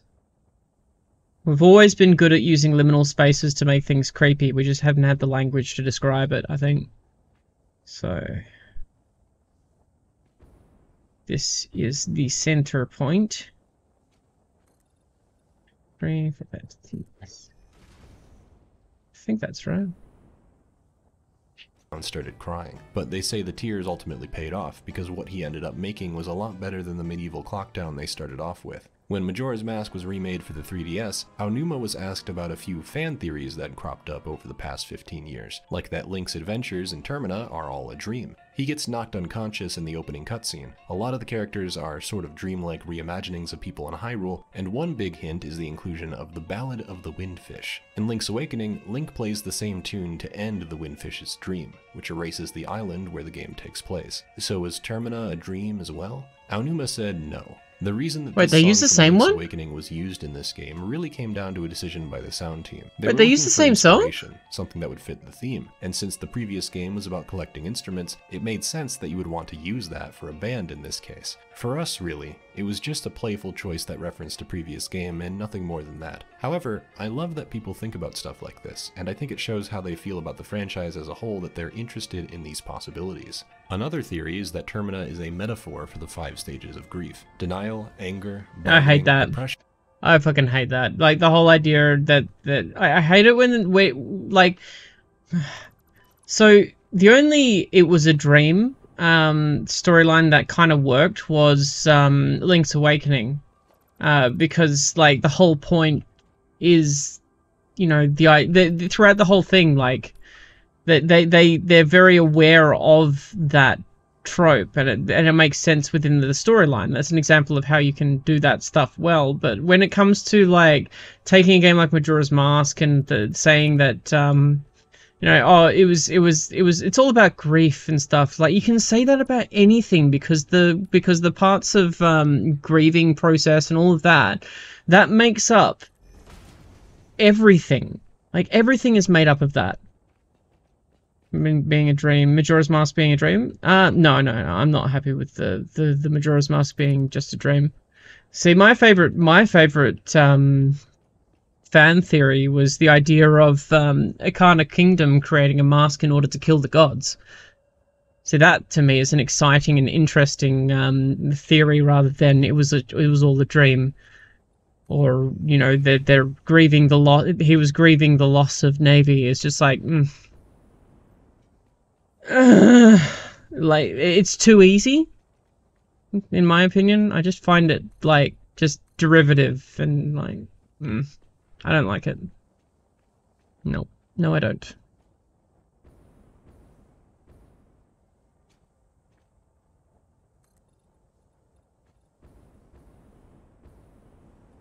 why does Navi get hate i mean like people jokingly laugh about her being annoying with the with her voice, but like that's more jokingly, right? Or am I was I completely misreading the discourse? People say she's annoying. Well, I mean, like, yeah, but that's that that's funny. It's funny that she's annoying. what? People despise her. Well, they can like get wrecked, scrubs, because Navi Navi is uh, awesome and acceptance. The townsfolk are in denial that the moon is going to destroy everything they hold dear. The Deku King is punishing the monkey out of anger. Darmani's ghost is bargaining for a return to the world of the living. Lulu's fallen into depression after the loss of her eggs, and Ikana is the land of death, representing the final stage of grief, acceptance. Was all this done intentionally by the developers, or was it just No. the fans' interpretation? Again, Aonuma fan. basically said no, the concept was invented by the fans, Exactly. not the writers. Quote, it's certainly they had one year to make this game. There, there are no, there are no actual like the fan theories that I like. I know aren't actually true. Like they're just, they're just coincidences. They're just the result of things being put together. It's, it's seeing faces in clouds. You know what I mean? That, that that's that's what this stuff is. There was no deeper message to it. It was just a really cool game built around really interesting concepts, and it just happened to uh, spark a lot of conversation about um, why it was made in that particular way. True that each one of these different episodes you talked about has a slightly different emotional cast to it. One feels like it's tinged with sadness, and another with anger. That certainly was intentional. Ah! But I also want to point out that it's not that each of these episodes has only one emotion that they're conveying. There are certainly other notes that we're trying to hit as well. I mean, it's it, it, it's it's never explicitly said that he's searching for Navi. And unless unless they've said like the directors have said it, like the, maybe they have, but like I don't know. It doesn't have to be Navi. doesn't have to be the, even have to be the same link. And the reason we did this is to allow the player to experience that emotion, to give them a chance to hook into the emotion No, they were um they they, they, they were looking for a lost friend. It's the same link. See, I, I feel like um I've heard I, I've heard that it's Navi like there are some people who say that uh, he was looking for the Skull Kid. And that like um that's who he was looking for um, because he met the Link. Link. Um, they met the Skull Kid and um, played around together, had fun. Just, just, just, just. Uh, they them's being they them's. tone of the scene and react to it and feel like they want to accomplish something in the game as a result of it. Another curiosity was brought up to Aonuma. The other three transformation masks are the spirits of an individual Deku, Goron, and Zora. So whose soul is in the fierce deity mask? His answer? The best I can give you is just a suggestion. The best way to think of it is that the memories of all the people of Termina are inside the fierce deity mask. As for why it's so painful when Link puts on the transformation mask, he said it's because the spirits of the dead have unfinished business. However, Yeah. some mysteries were left intentionally vague. Are the mask collectors on the moon the mask salesman's kids? Did Kafei turn back into an adult at the end, or was he stuck as a child forever? In these Japanese magazines, Koizumi says those questions were left unknowable on purpose. There are no Yeah. answers, but he enjoys seeing fans cook up theories to answer them anyway. Did you also know that Nintendo tried remaking Zelda 2 in 3D? Or that Ura Zelda What? was planned to have online? For more on that, check out the video on screen. If you enjoyed hearing my voice, my name's King K. I make video essays on video games like Zelda, Kingdom Hearts, Sonic, and Pokemon. Subscribe for more videos like this one, and thanks to Jacob Newcomb for his translations, and Eurasia M for recording footage. And thank you for watching. Do do do do do. Do do do do do do do. Do do do do do.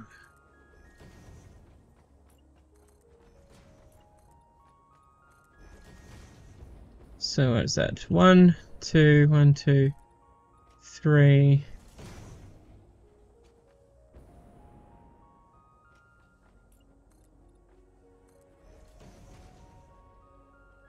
No, that's the wrong way around.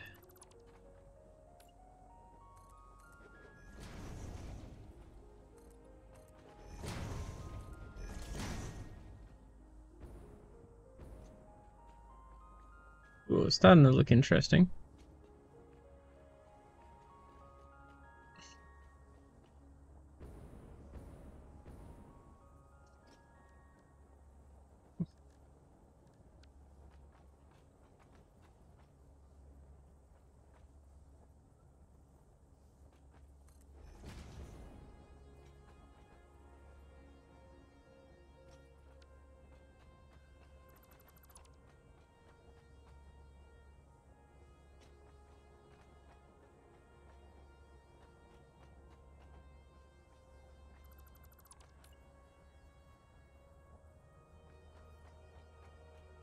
The upsetero heteros. Who is upsetero heteros? Where are we looking at? Oh yeah, yeah. Wait, have you have you never watched um Tara Mooney? Tara Mooney's awesome. Um, but I do need to take a quick break to do lady stuff. Um, so don't go anywhere or do. Um, but when we get back, we'll do more stuff.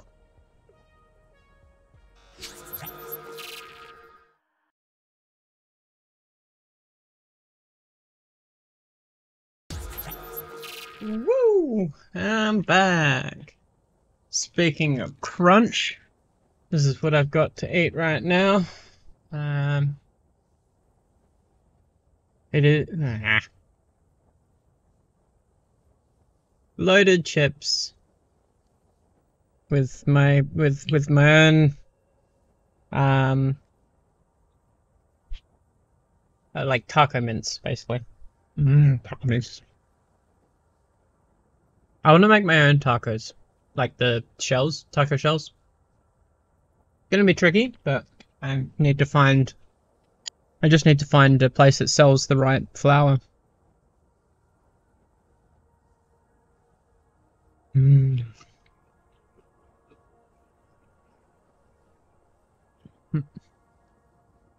Oh yeah. So, what I wanted to talk to talk to you about is this. This is something that means a little bit to me, since it's a video game I play a lot, and I like it. I've got a graph here. What does that graph tell us? What is this? What is this graph? This is the historical population chart over the last five years. Right?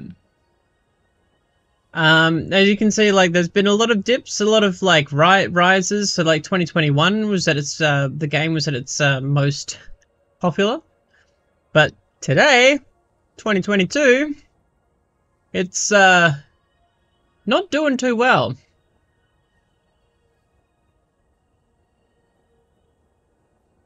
I mean, it's still ranking 9 out of 138 of all. But, uh, Where is all time? Damn it. This is the five year. This is you can we can see a five year breakdown, but uh, the game's been out for about a decade, for almost a decade now. So, Little Fox, I hear you ask, why are you talking about Elder Scrolls Online as if I should care? Wow. Dear viewer, I'm happy to tell you. What's happened recently is that is that Microsoft has laid off uh, about 10,000 staff, joining I think Google and Apple uh, in the layoffs. Now, what that means is the reason I bring I bring up Elder Scrolls Online is, as you can see, the player base is uh, stagnating, and this year is kind of a make or break for a game that I really enjoy playing. And it appears as though they are not interested. Hold on a second. Sorry, that scared the shit out of me. It's too fucking loud. Anyway. So, it's make or break for this year for Elder Scrolls Online. Uh, because uh, it's been bleeding play its player player base for um, you know uh, for uh, you know over a year now, uh, going up and down, and uh, they really do need to come out with some new content which will get people interested in the game. Aside from um, microtransactions that uh, I'm unable to access. Those bastards doing that. Um, but again, not the point of what I need to talk about today. The real point being that 10,000 people laid off is going to lead to crunch. So, um, yeah, 10,000 jobs slashed in one day uh, because a sizable chunk of those were from the game studios, including Bethesda. So this re- this figure represents less than five percent of the company's total employee base. Five percent of your employees is a huge fucking amount. Ten thousand employees, like at a time where Microsoft is making more money than ever, you know, profit wise it's going. It, it should be hiring more people. You know, that's that's how businesses grow, right? Well, it's interesting to note that as the as the um, use of uh, Chat GPT and other AI services rises, a lot of these tech jobs seems to seem to be disappearing.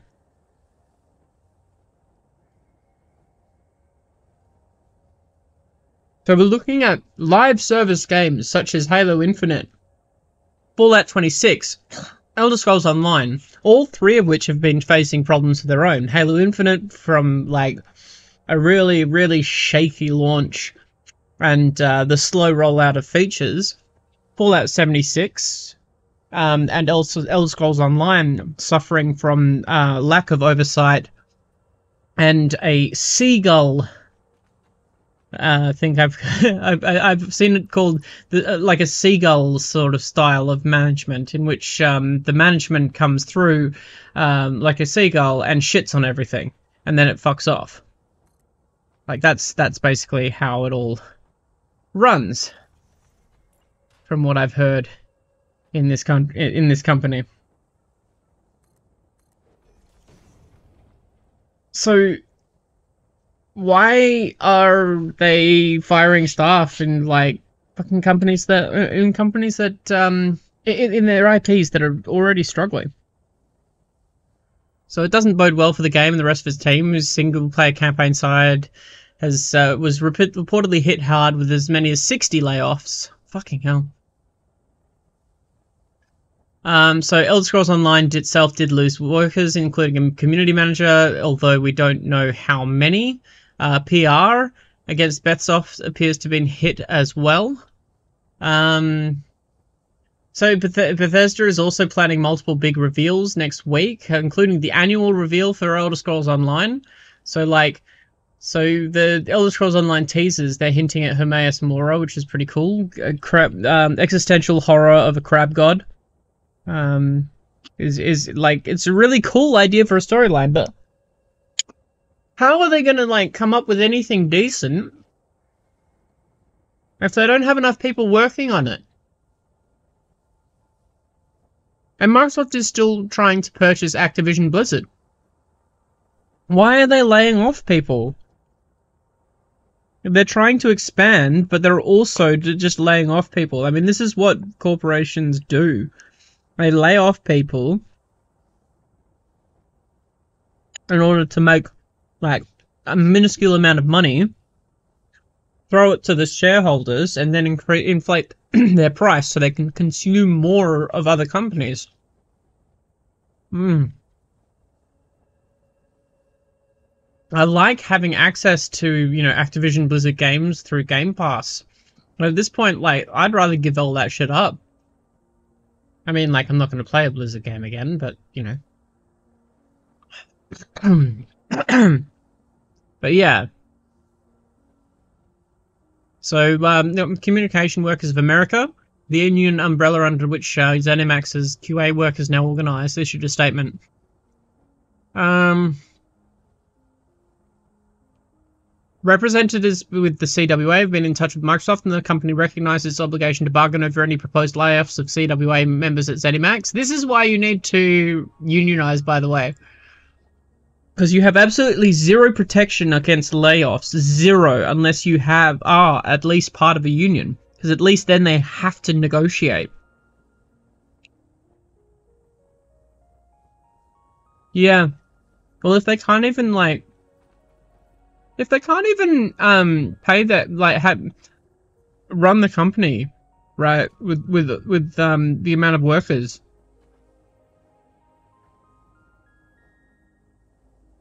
that um they were before. Like if they can't even do that why why why should they be able to take control of another company and potentially do the exact same thing? It's just ridiculous. It's disgusting. Disgusting.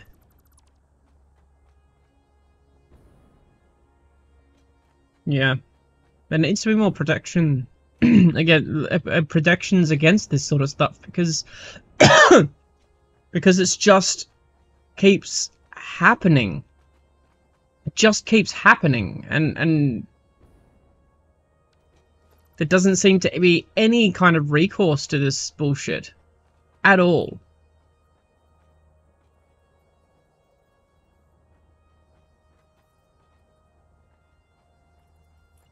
do do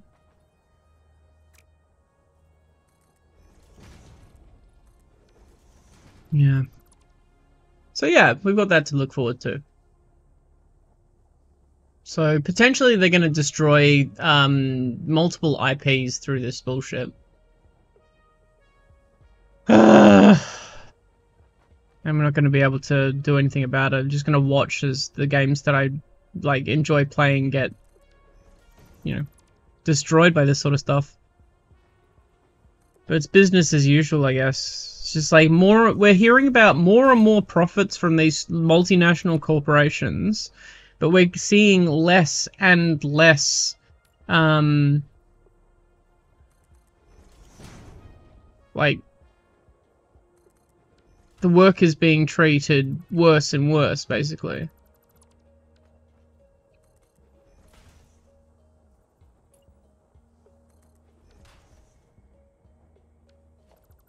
I'm doing this wrong right eh? now.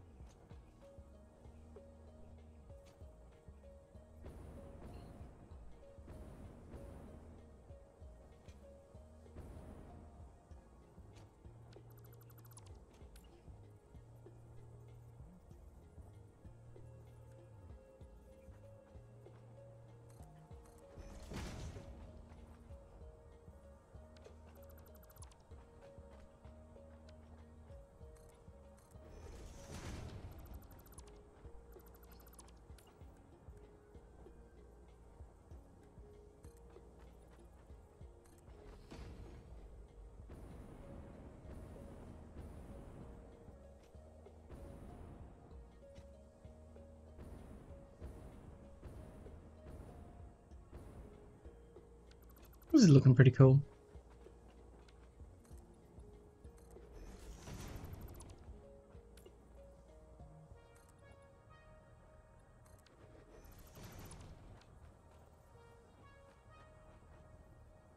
Like, how long are these like corporations going to be able to go ahead and like fire all of its employee, all of their employees one by one until like we just start realizing that there's going to be nothing left for the workers at all?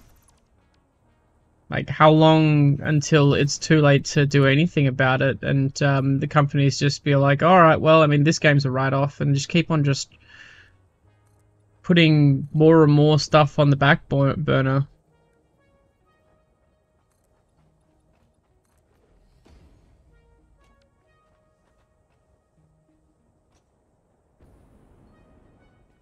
This actually looks pretty cool.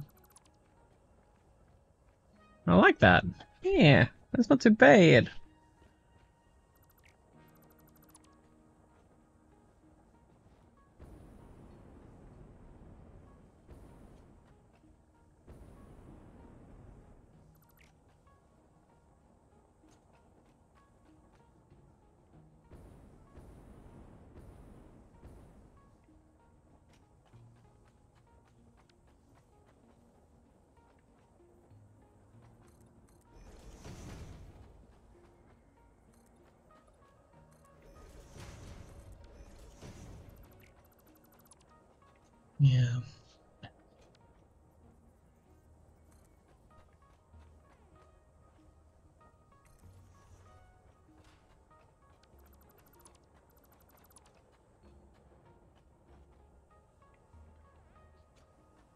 Yeah, it just doesn't seem to be. Things just seem to be looking worse and worse over time, and nothing seems to be getting better. I, I'm honestly at this point looking at uh, places like Cuba and thinking to myself, you know, like, I might not be able to have the nice things, but at least maybe if I move to a country where that where capitalism isn't just the driving factor that consumes everybody's fucking life, maybe I can be happy. Maybe. But I'm sure as hell not happy here.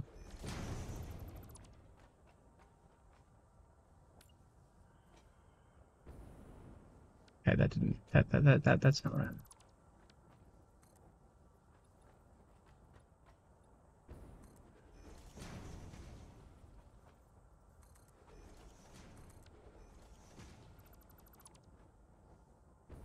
Oh, that's why. I was I was a little bit off.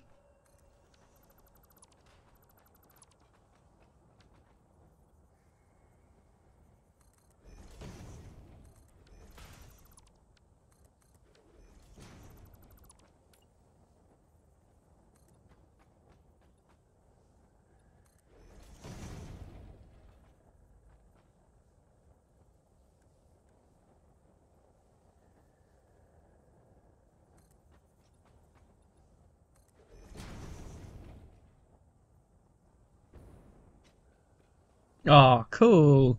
Well, I have actually made it sort of look a little bit like how I want it to, which is pretty cool.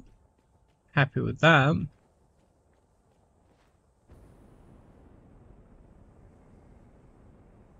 Uh-oh, uh-oh, uh-oh. Ah!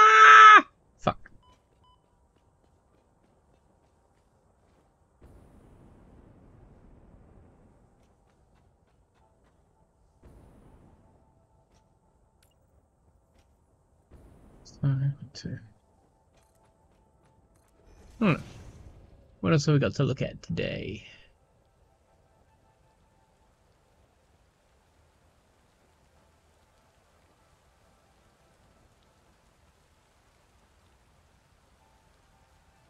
Ooh.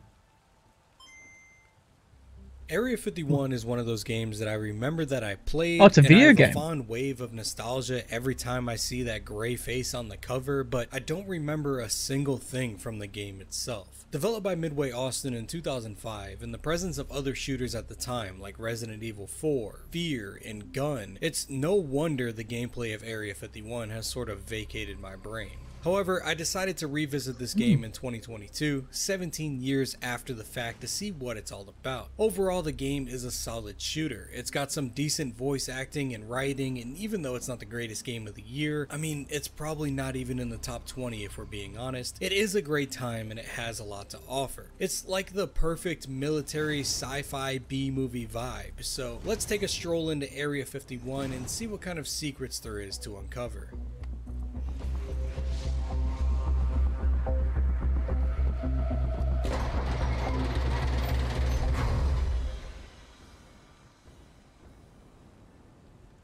As the title of the game suggests, this game takes place in Area 51, the infamous US military location rumored to have secret alien technologies, picked up after the Roswell, New Mexico incident in It's the open source now. 1940s. Oh, You play as a hazmat operative in the US Army named Ethan Cole, who is sent into Area 51 with a team after there's some sort of viral outbreak within the confines of the military base. After a quick rendezvous with other military on the scene and some ominous foreshadowing of the virus outbreak as you arrive, you fearlessly dive into the depths of Area 51 and you find hordes of virus infected scientists, soldiers, and alien creatures trying to claw your eyes out. As you get deeper into the base, you find yourself uncovering the real reason that everything is going on, unveiling secrets of the base like the Illuminati, aliens, Bigfoot, fake moon landings. Sounds like Alex Jones's, like, favorite- favorite game. That may or may not have anything to do with why you were there and if you will make it out alive.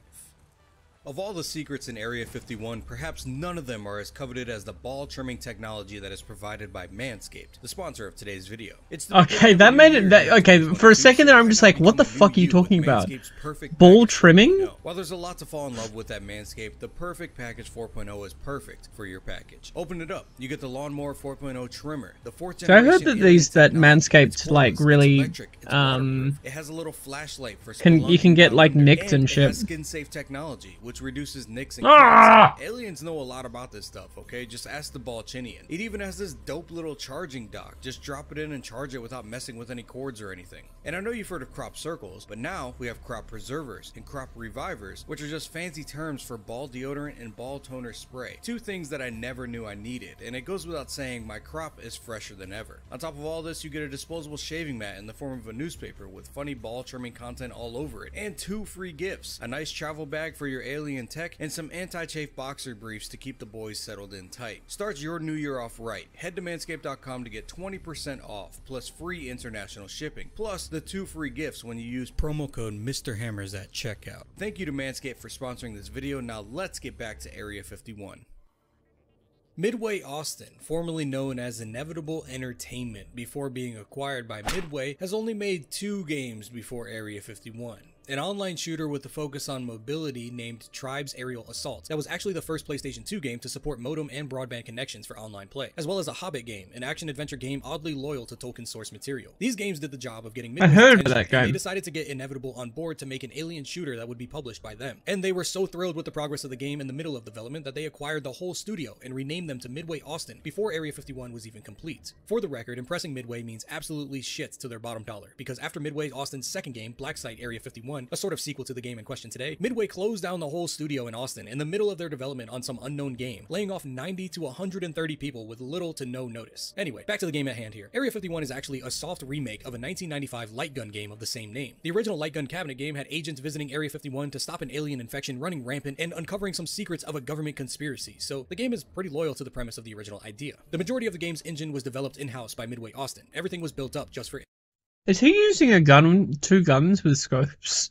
Then like, I'm just imagining them putting in one in each eye. Area 51, the PC based editor, the rendering engine, the physics, and animations, all unique and proprietary to this one alien killing simulator. The primary goal of the game was to create a fast paced run and gun style Fucking lol. shooter, and I think they reached that goal and then some. The secondary goal was something that I think they didn't quite capture too well. They wanted to start the game off with a solid squad based experience, and although there is an effort into building some camaraderie and team morale with this ragtag group of hazmat operatives, I quite frankly could not give a fuck about these guys once bullets started flying. This guy right here loses his head, and it's supposed to be some monumental moment in the story, but I already forgot his name. The team is That's fucking playing one by awesome. one, and before the halfway That's fucking game, awesome. alone. This game never felt like a squad-based game to me. It felt like a first-person shooter with some teammates that I had to carry to victory because they fed their asses off. On top of providing a solid single-player experience, quite a lot of time and effort was put into the multiplayer aspect of the game, particularly with the online multiplayer on consoles. In the year 2005, online multiplayer was still in its infancy on consoles, and with Inevitable Entertainment's fantastic work on Tribes, Midway wanted to incorporate online play into their game as well. In Area 51, you could load up Did this come out before or after Halo?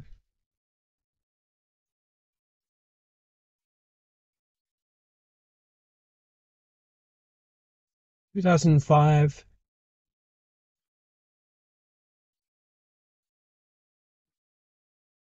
Two thousand one. Yeah, I can see. I can see so much like, like inspiration.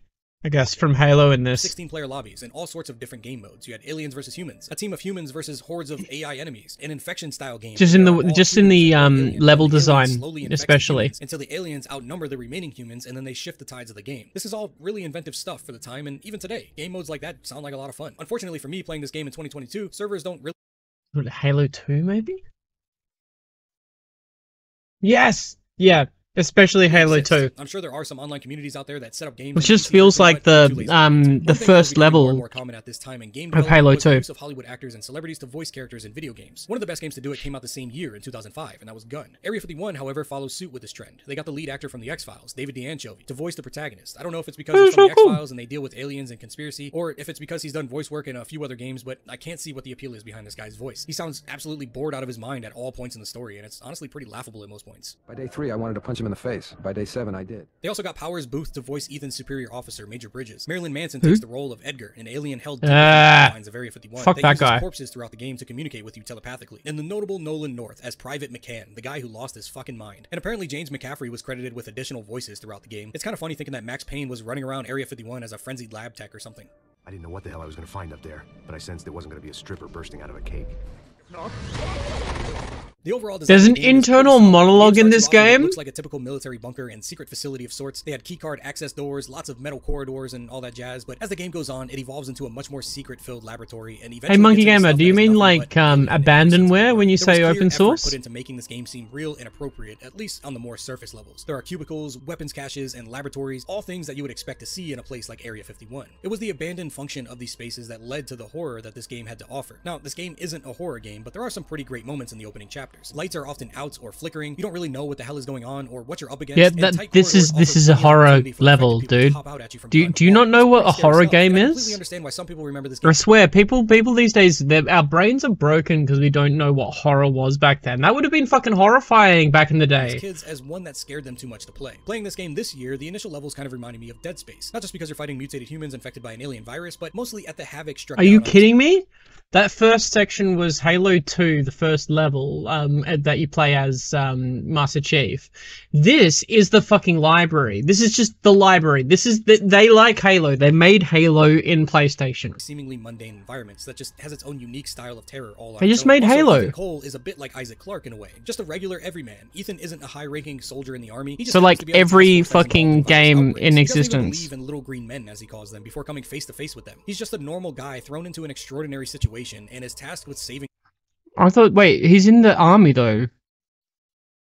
What? It's very similar to Isaac Clarke, if you ask me. Who The is this guy? Have a necromorph vibe to them, you know, mutating humans using body horror and being That's cool. agile and aggressive. That's pretty well cool. done. They were actually done with the help of Stan Winston from Jurassic Park. That's really cool. That 2005. That's that is that is some really good shit. Didn't get that from Halo. Oh, Halo 2, we did get that. Yes, but not to that extent. That was that's that's an amazing cutscene.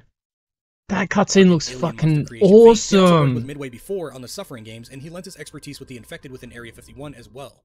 The later levels sort of fell flat to me. They were neat, Yeah. but really the initial design in the first few chapters felt like such a strong. Yeah, this isn't- I'm sorry, but this doesn't this this isn't this isn't Dead Space at all. Dead Space is was never about throwing hordes of enemies at you. And uh, you, and before you say the teenage the teenage mutants from fucking Dead Space Two, they were the worst. They were the worst implementation of a of an enemy enemy in Dead Space. Changed my mind. was on neon lit walkways fighting enemies that spawned within orbs, it was just kind of bland and failed to make itself distinct in any way. And How is this guy not talking about Halo? What do you? What the fuck is is this? Oh yeah, it's definitely a lot like Dead Space. Okay, it's a first-person shooter for one thing, not a third-person shooter. This is high charity. This is literally just high charity.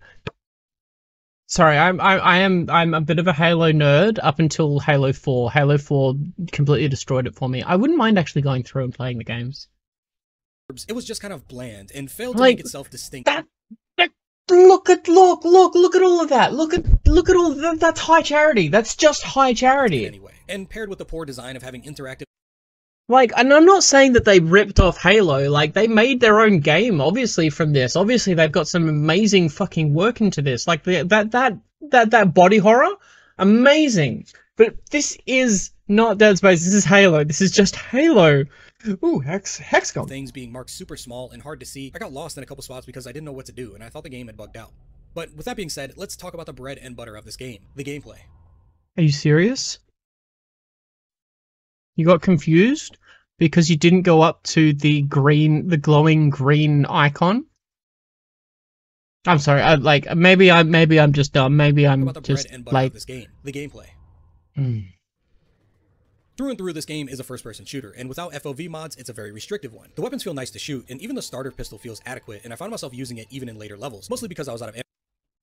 Are you telling me you? So you're telling me this game has a pistol in it that is useful throughout the entire game, and you're not talking about you're not talking about Halo? Ammo with everything else, but hey, it got the job done. For the first half of the game, you are running and gunning with your hazmat. This is. Frustrating. Standard weaponry for a soldier, like a pistol, a shotgun, and a submachine gun. This submachine gun's actually pretty sweet. I like how you can see real time through the scope as you walk around, even though you can't actually aim down the scope to shoot it, which is kinda dumb. Anyway, it's this portion of the game that feels good because of the That is environment dumb. you're in. It's a solid That sounds like- it's sounds like a lack of of the all-star time for garbage, and it's implementation. Right around that time when you get your ass infected with a mysterious alien virus. Dead Space for me, the brilliant part of Dead Space for me is the rising tension throughout the first game. For, throughout the first time you play the game, like I'm just talking about Dead Space, the first game. Like the best part about that game was how you you were you were an engineer, and the whole time you're doing engi- well, you're doing like you know hands-on engineering shit, right? like it made sense that you would upgrade your weapons. It made sense that you would be going to here to fix a thing and going to there. Like the point wasn't that you were there to kill off to kill a bunch of enemies. The point was that you were trying to get through the enemies to do what you needed to do. And when you you got there, you did the thing, and then something else happens that fucks everything else up and that's what I loved about the game is how it just kept on getting worse and worse until you end up end up with this existential fucking threat in front of you. Um, which I mean, like the the final boss fight is a little bit meh, um, because the the idea that that you could defeat a creature that size like that, I think it should should have definitely doubled down on the aspect of dropping the um the asteroid onto on top of it and working out ways to keep it in place to do that. Um, no, it did not. But like, see, like I do have criticisms for the final boss in Dead Space. Like, it shouldn't have just been like a Isaac versus big monster battle. That that that was that that that was dumb and stupid. And I kind of liked the idea that they went with for the second for Dead Space 2 where instead of fighting a big giant dumb monster at the end, you're actually just fighting inside your own mind. Like that that was a better that was a better outcome. Haven't finished haven't played through Dead Space 3, so don't have an opinion on that one.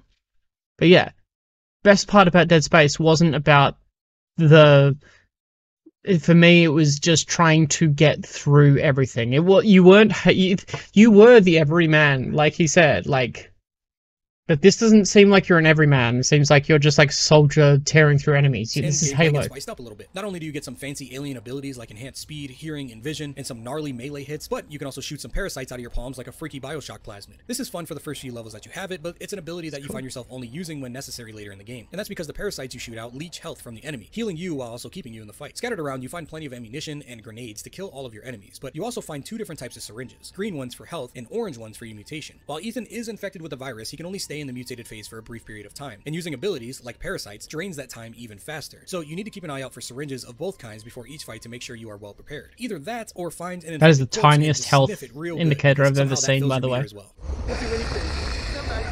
Ethan's specialty within his hazmat crew is his scanner. You have an apparatus on your wrist that you can use to scan things within your environment that supposedly helps you and your team analyze and dissect to further understand the virus. In reality, all this I had a lot of, like, down to is ideas with it. unlock secrets and lore entries for your reading pleasure. A lot of them are actually pretty interesting. They all sort of feed into the conspiracy theory side of the game. You can find items and documents related to Bigfoot, crop circles, the Illuminati, the JFK assassination, the faked moon landing, and many more things that make you secure your tinfoil hat. Even though this is a relatively short game, the combat does start to seem stale after a while, and that's not helped at all by the fact that there's only a handful of different enemies in the entire game that don't switch up gameplay style too much. You essentially only have two different enemies. First, you have your infected humans. These are the enemies throughout the first half of the game. They come in a This just this flavors. You got just like that just kinda run at you. You screams to me that this was a you, game made by how to use their guns, gamers. so You know what I mean? They they're doing it. weren't And you got just devs; they were also specimens. These guys can passionate about the games that they around, and play, they hit a lot which is really cool.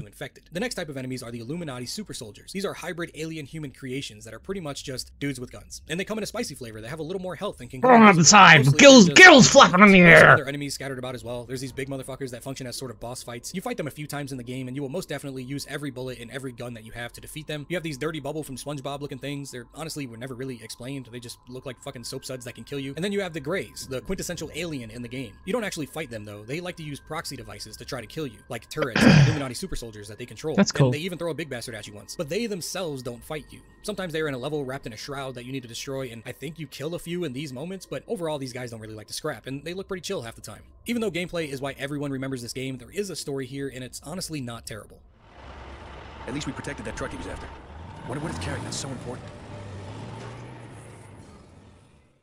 The plot of the game starts all the way back in July of 1947. Not really. But back then in New Mexico, there was a UFO crash. The US military showed up to the crash site and found a lone survivor of the ship, a gray alien named Edgar. Edgar was taken back to Area 51 and held captive there. Eventually, the alien species, lovingly named Greys, start conversing with none other than the Illuminati, led by the ominous Mr. White, and they struck a deal. Basically, a technology trade agreement. The Greys were provided with a research base with human scientists about three miles below the surface of Area 51, where they are free to come and go as they please as they are given a landing site for their UFOs. They are also given human test subjects to experiment on in order to craft a mutagenic virus to use in a war that's going on on their home planet. In exchange for this, they agreed to share all of their technology and knowledge with the Illuminati, which they gladly used on their citizens to spy on them and keep themselves in power. Eventually, the Greys and scientists develop a powerful alien being known as the Theta, which spreads the virus around. And as the Illuminati do, they have some secret shit going on in the form of using this mutagenic virus on the human population. That definitely looks like a mutated, scientist named Dr. um, Winston Cray found out about an elite. he released the virus inside of Area 51 prematurely in an effort to shed some light on the whole shebang and hopefully slow the Illuminati down. This virus outbreak resulted in the military sending out a quick reaction force named Hazmat Team Delta. They were deployed to quarantine the base and stop the virus from spreading to the US population. Hazmat Team Delta unfortunately came face to face with the Theta and suddenly switched teams. So obviously now they send in Hazmat Team Bravo, the crew with our main boothing Ethan Cole running the scans, to do the same task as Team Delta, but also given the secondary task to uh, find Delta. Quickly it's revealed shit is pretty crazy in Area 51, and Hazmat Team Bravo starts to lose some ranks. McCann is decapitated, Crispy and Ramirez are both murked by a wild Theta, and suddenly Ethan Cole is all alone. But this doesn't stop him from finding the remains of Team Delta, and just when he finds them, it's shortly thereafter that they're all killed anyway by the wild Theta. And it's just Cole all alone again. Well, actually, he has Lieutenant Chu from Delta, but that doesn't really last long because it's here where the Illuminati shows up and they aren't really that friendly to say the least. After blowing up the lift that Cole and Chu are on, Chu falls to his death, while Cole falls a lesser height and is woken from his unconscious stupor by a mutant biting his ass, causing him himself to become mutated. But not fully for some reason or another. He can control his mutation, at least for the time being. This allows Cole to switch back and forth from mutant to human, and he's given some spiffy new mutant powers to play with. As Cole goes deeper deeper into the base of Area 51, he is constantly met with reanimated corpses, communicating to him telepathically controlled by the Grey named Edgar. Edgar guides Cole to Dr. Cray in his lab, where he is promised to be decontaminated of his mutated state, ridding him of the alien virus. But of course, before the decon is complete, the Illuminati show up, killing Dr. Cray and stopping the process of his lab equipment. Cole keeps going deeper underground to hopefully find a cure or answers to what is going on. It's here he finds the Wild Theta and fights him to the death, avenging all of those who perished at his hand. Before the Theta's body can even get cold, Edgar picks up the corpse to invite Ethan to meet him face to face. Eventually, he does find Edgar, who reveals to Ethan that the scientists used Edgar's DNA to make the mutagenic virus, and he explains that many of his own kind, as well as humans, were sacrificed to make it. He offers up his blood to Ethan, as if he injects it, it will cure him. In exchange, he tells Ethan to go and stop the departing Grey ship that contains dozens of Theta duplicates that would not only infect the Grey home planet, but also all of planet Earth. Ethan finds and destroys the ship by overloading its reactor, not without the attempt of the Greys and Illuminati. So wait, wait, wait, wait, wait, wait, wait, wait, wait, wait. They're sending out a virus that's gonna destroy like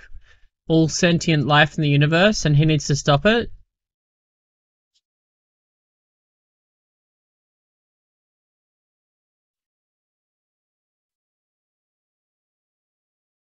Stop him from doing so. Once the reactor is destroyed, the explosion is triggered. Ethan escapes through a galaxy portal that drops him in the Nevada desert, right next to a white mailbox that is a play on the real life mailbox that's on a road called the Extraterrestrial Highway in the middle of the desert, where alien fanatics all venture out to in hope of stopping UFOs. Ethan watches Area 51 being destroyed by the exploding gray alien ship before seeing a truck drive by, leaving the area with some sort of alien technology in the back covered by a tarp.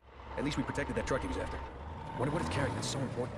Not knowing which way to go, Ethan simply reflects on what just happened. He learned that aliens exist. He learned that the Illuminati exist. And even though his whole team died horrific deaths, he damn near single-handedly saved the human race from an alien virus. So take that, Mr. White. I like that. It's poetic. Area 51 was made for the PlayStation It- 2 it primarily, rhymes. The game was also released on Xbox and PC. The PC version was funny enough sponsored by the US Air Force, along with some other games, and released for free by them with some recruitment ads, of course. But I find it hilarious that a game about the US military and Area 51, aliens, conspiracy, and the Illuminati was actually co-signed by the real military. And released Why would that not be fucking hilarious? Come on. It's it's literally the same as, you know, these thirst trap TikToks. It's just fucking psyop shit. The point isn't the plot. The point is you're shooting guns as a soldier and you're being normalized into that behavior, being normalized into the idea that being a soldier means being heroic. Like, that's the point. They worked on 2016, uh, Doom 2016. Fuck yeah. Oh, Saints Row. I was gonna say Saints Row, but I don't know why I thought about Saints Row. I, I can't remember. And a campaign to have people enlist in the Air Force. That's just really funny to me that that happened in real life. The PC version of this game has had quite a bit of support and attention ever since its release, with multiple overhauls and patches to fix the game on modern machines, and keep the game alive and well. Project Dreamland and Area 51 Preservation Project are two of the biggest ones, and the people behind these things are truly saints. I love people that strive to keep games alive because as a consumable media, compared to movies and TV and such, games are easily lost to time and can become incredibly hard to get and get running many years later. So Yeah. shout out to those guys. Not surprisingly, reviews for the game were average. It wasn't a bad game at all, but the game really didn't break any But like ideas. The, the the horny TikTok girls don't get people horny men to enlist. It just normalizes um the military to the public. It's just normalizing it. It's the same reason why it it's the same reason why people in the LGBTQIA plus community post and we make ourselves visible. It's not about the messages behind what we're saying. The fact is that I'm visible and I'm here. The US government is doing the same. or change the face of Like Uh, like I'm not I'm not having a go at you. I'm just sort of like this is something that annoys me in general is this idea that this need that people have to create conspiracies when like the the real logic and the real thing is like staring you straight in the face. Like the the US government sponsors anything that has military in it in order to try and increase the amount of normalization of military um of seeing military imagery. The idea that war is normalized like that's why that that that's why they do it. No it's not try it's not a psyop it's not like trying to like brainwash you because brainwashing is not real. It's it, it's it's fiction. It's a fiction. It, it's made up. Brainwashing doesn't exist um and you can look to the government's own declassified documents into MK Ultra to find out this. It's the information is right there. That that's what I mean. It's like people need to have like the secret knowledge. Like oh, you know that they're trying, they're, they're putting you know subliminal messages in, in messages in it. Blah blah blah. They're trying to prepare. They're they're trying to prepare us for for when the aliens do attack. They're trying to prepare us. Like the aliens are here, but they're sending more and more of these conspiracy stuff to to prepare the the, the nation. It's like no no no no. They just want to normalize mili- the military within gamer culture and with culture in general. Uh, the amount of mov- movies that are given equipment and footage to, so, so that they push media, the American American military is always in the right. Yeah, but like the question this guy had in this in this thing is just like, why are they doing the conspiracy stuff? Because they don't care about the conspiracy stuff. They care that a the American military is the good guy, and b the American military military is like star has a starring role like the the American military needs the starring role role basically. We need to they it needs to be normalized within culture. Shooting mechanics and Marilyn Manson voiceovers. Like other Midway games at the time, Also Marilyn Manson cringe. Fucking abusive piece of shit. There was talk of the game being licensed as a movie, with Paramount Pictures announcing at one point they reached an agreement for the film rights for the game, with comic book author Grant Morrison being hired to adapt the game as a screenplay. But as of now, the film is considered dead, and there's really no news surrounding it or what happened to it. Two years after the release of this game, Midway Austin released a game called Black Site Area 51. It Hold on a second.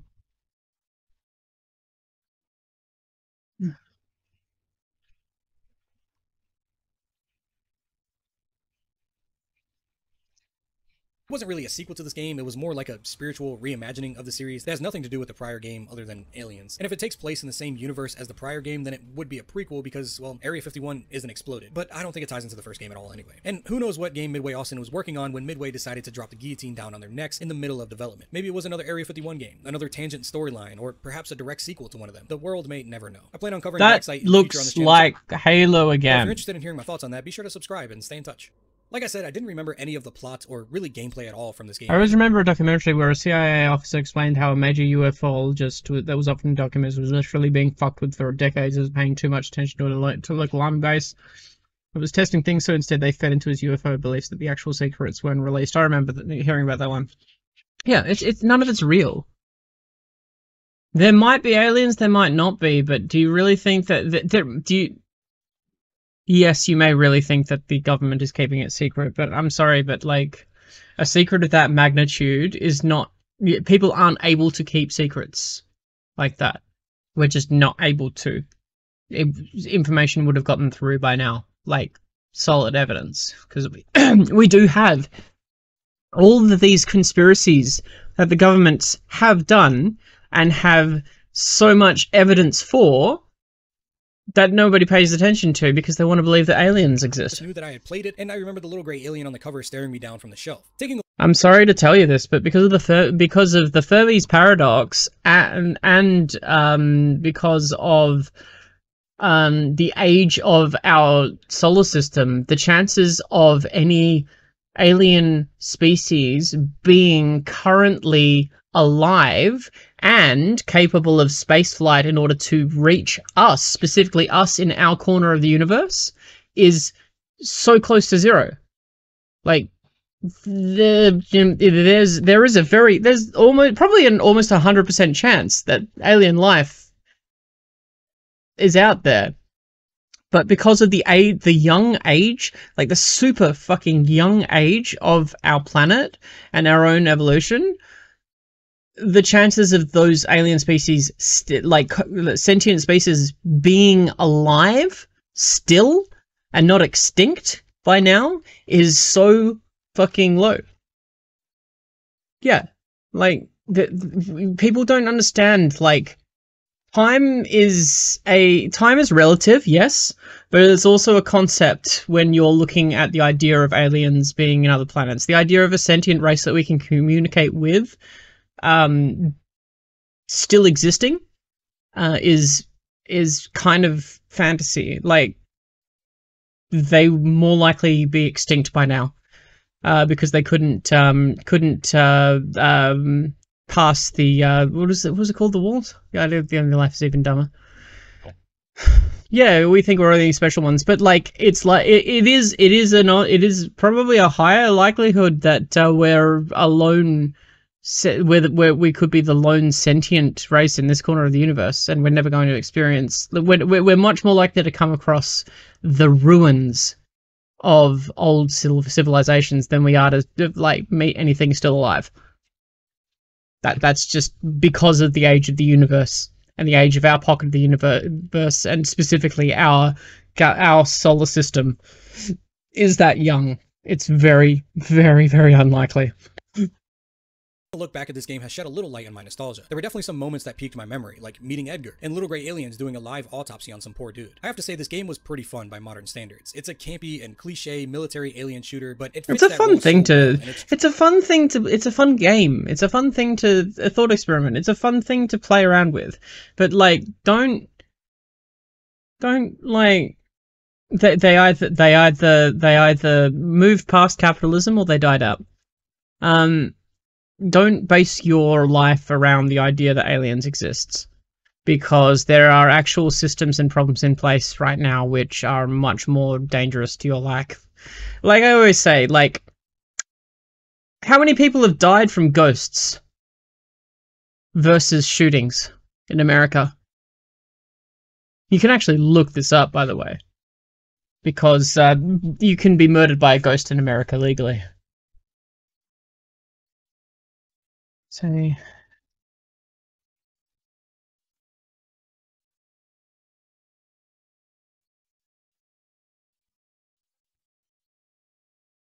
Da da da da da da. Ah, it's hard to find. No cases. Ghosts. Da, da, da, da. There's the Hammersmith ghost murder case. Uh, that ha- someone could be uh, uh, could be held liable for actions, even if they- they're the mistaken. No, that wasn't it. Um, fucking hell. Well, I guess I guess they don't, there's no number.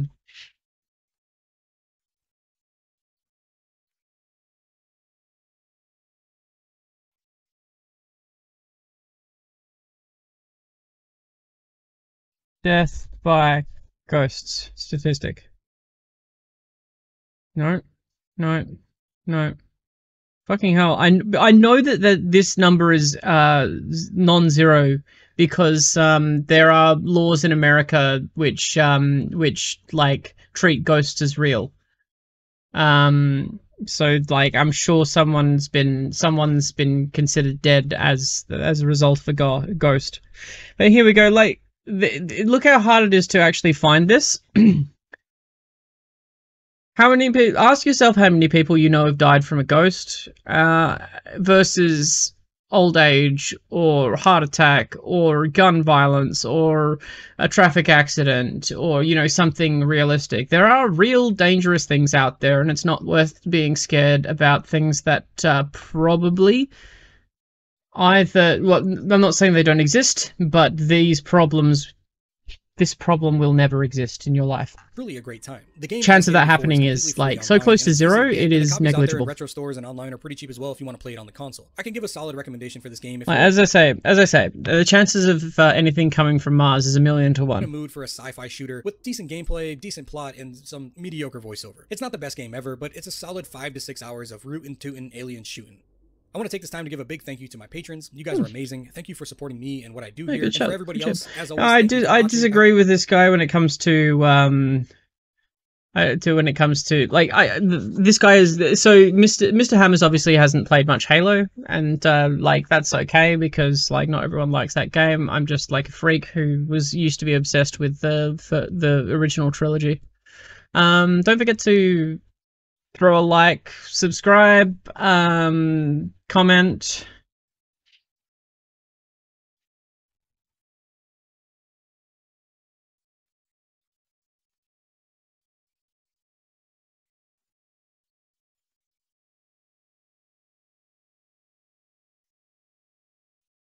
Oh yes, it did. Oh, don't please don't get me into like how don't make me nerd out over how how Halo influenced the game, like the video game development. Like, just just just the the idea of shields completely revolutionizing like i know that halo was not the first one to implement shields but it was the one that popularized it. There is a difference. Um, halo popularized the use of shields to allow large scale battles right? So like um so like halo revolutionized it because up until that point a lot of most shooters and i know some of them had in, had had had you know like regenerating health but halo popularized it um, don't at me. Um, up until Halo, you could only have a set amount of uh, enemies per zone, otherwise, it would become too difficult. Difficulty was set at the amount of enemies between health. Um, health drop locations. When Halo brought in its shield technology, you still had to pick up health drops, but at the same time, you could have much more, like, much large scale, larger scale battles. Like Halo um, was it, its focus was on creating these large scale epic battles against like hordes of aliens. Like that's that's what it popularized. It changed the way we did it. Like you could argue that uh, halo was the uh, start of the uh, casual gamer you know? Like the the the a gamer that isn't into like to play Wolfenstein 3D or Doom or any of these old games that uh, relied on nothing but health pickups. Like you needed to have a certain level of skill, and you'd have to have you'd have to remember where enemies were. Whereas Halo, you could do it through trial and error. You could go back to um health health you could get get to health drops and all these sorts of things um uh, you you could you could just yeah, just just let loose. All you need is like five seconds of um, cover, and then you'd be back into the fray. It's just beautiful, and and the use of skyboxes as well to to make you feel as if the world is larger than it was. Just mm, really, really good, and the music, the music, just everything about the game. Uh, made a lot of casuals into yeah. it was uh, you got to admit that was a really good that that the use of that song in Halo Two um, was perfect. Like when you walk into that big hallway and you see them all fighting each other, and suddenly, it's just so good. No, I refuse. I do not care. I'm sorry. I, I hate I hate the idea that I, I hate having I hate reading video like books about video games. I could barely stand um I could barely stand the um um, Star Wars extended universe aside from um, X-wing, uh, the X-wing series, which I wish they could do that. Just do that. D- Disney, just make the X-wing series. Don't change anything. Just make that. It's really good. Even though I know that Luke is gone. Well, I guess you could do it in, in between the uh, sequels. Hmm. Where are you sending it to me? Are you sending it in chat or are you sending it to me um, through um, Discord? Because I'm going to wrap up for the day now. Sadly, the spot doesn't yeah, they're they're, they're um. Oh, good. So that well, I mean, like done randomly, like that that that is to me that that sort of backstory stuff is Halo Four onwards, and I don't care about it because I, um, yeah, it does it it never it never mattered, never should have mattered, never should have been talked about. They should have like created something new after Halo Three, and then just like no, no, bring back bring back uh, the Arbiter, bring back the Arbiter, bring back Keith Davids. He was excellent. Um, but yeah, that is it from me today. So I'll be back tomorrow. Hopefully, Satisfactory won't crash again. Hopefully, I didn't lose that too much progress. Fuck. Um, but until next time, take care of yourself, take care of yourself, and take care of someone else. And I'll see you tomorrow. Love you all. Mwah.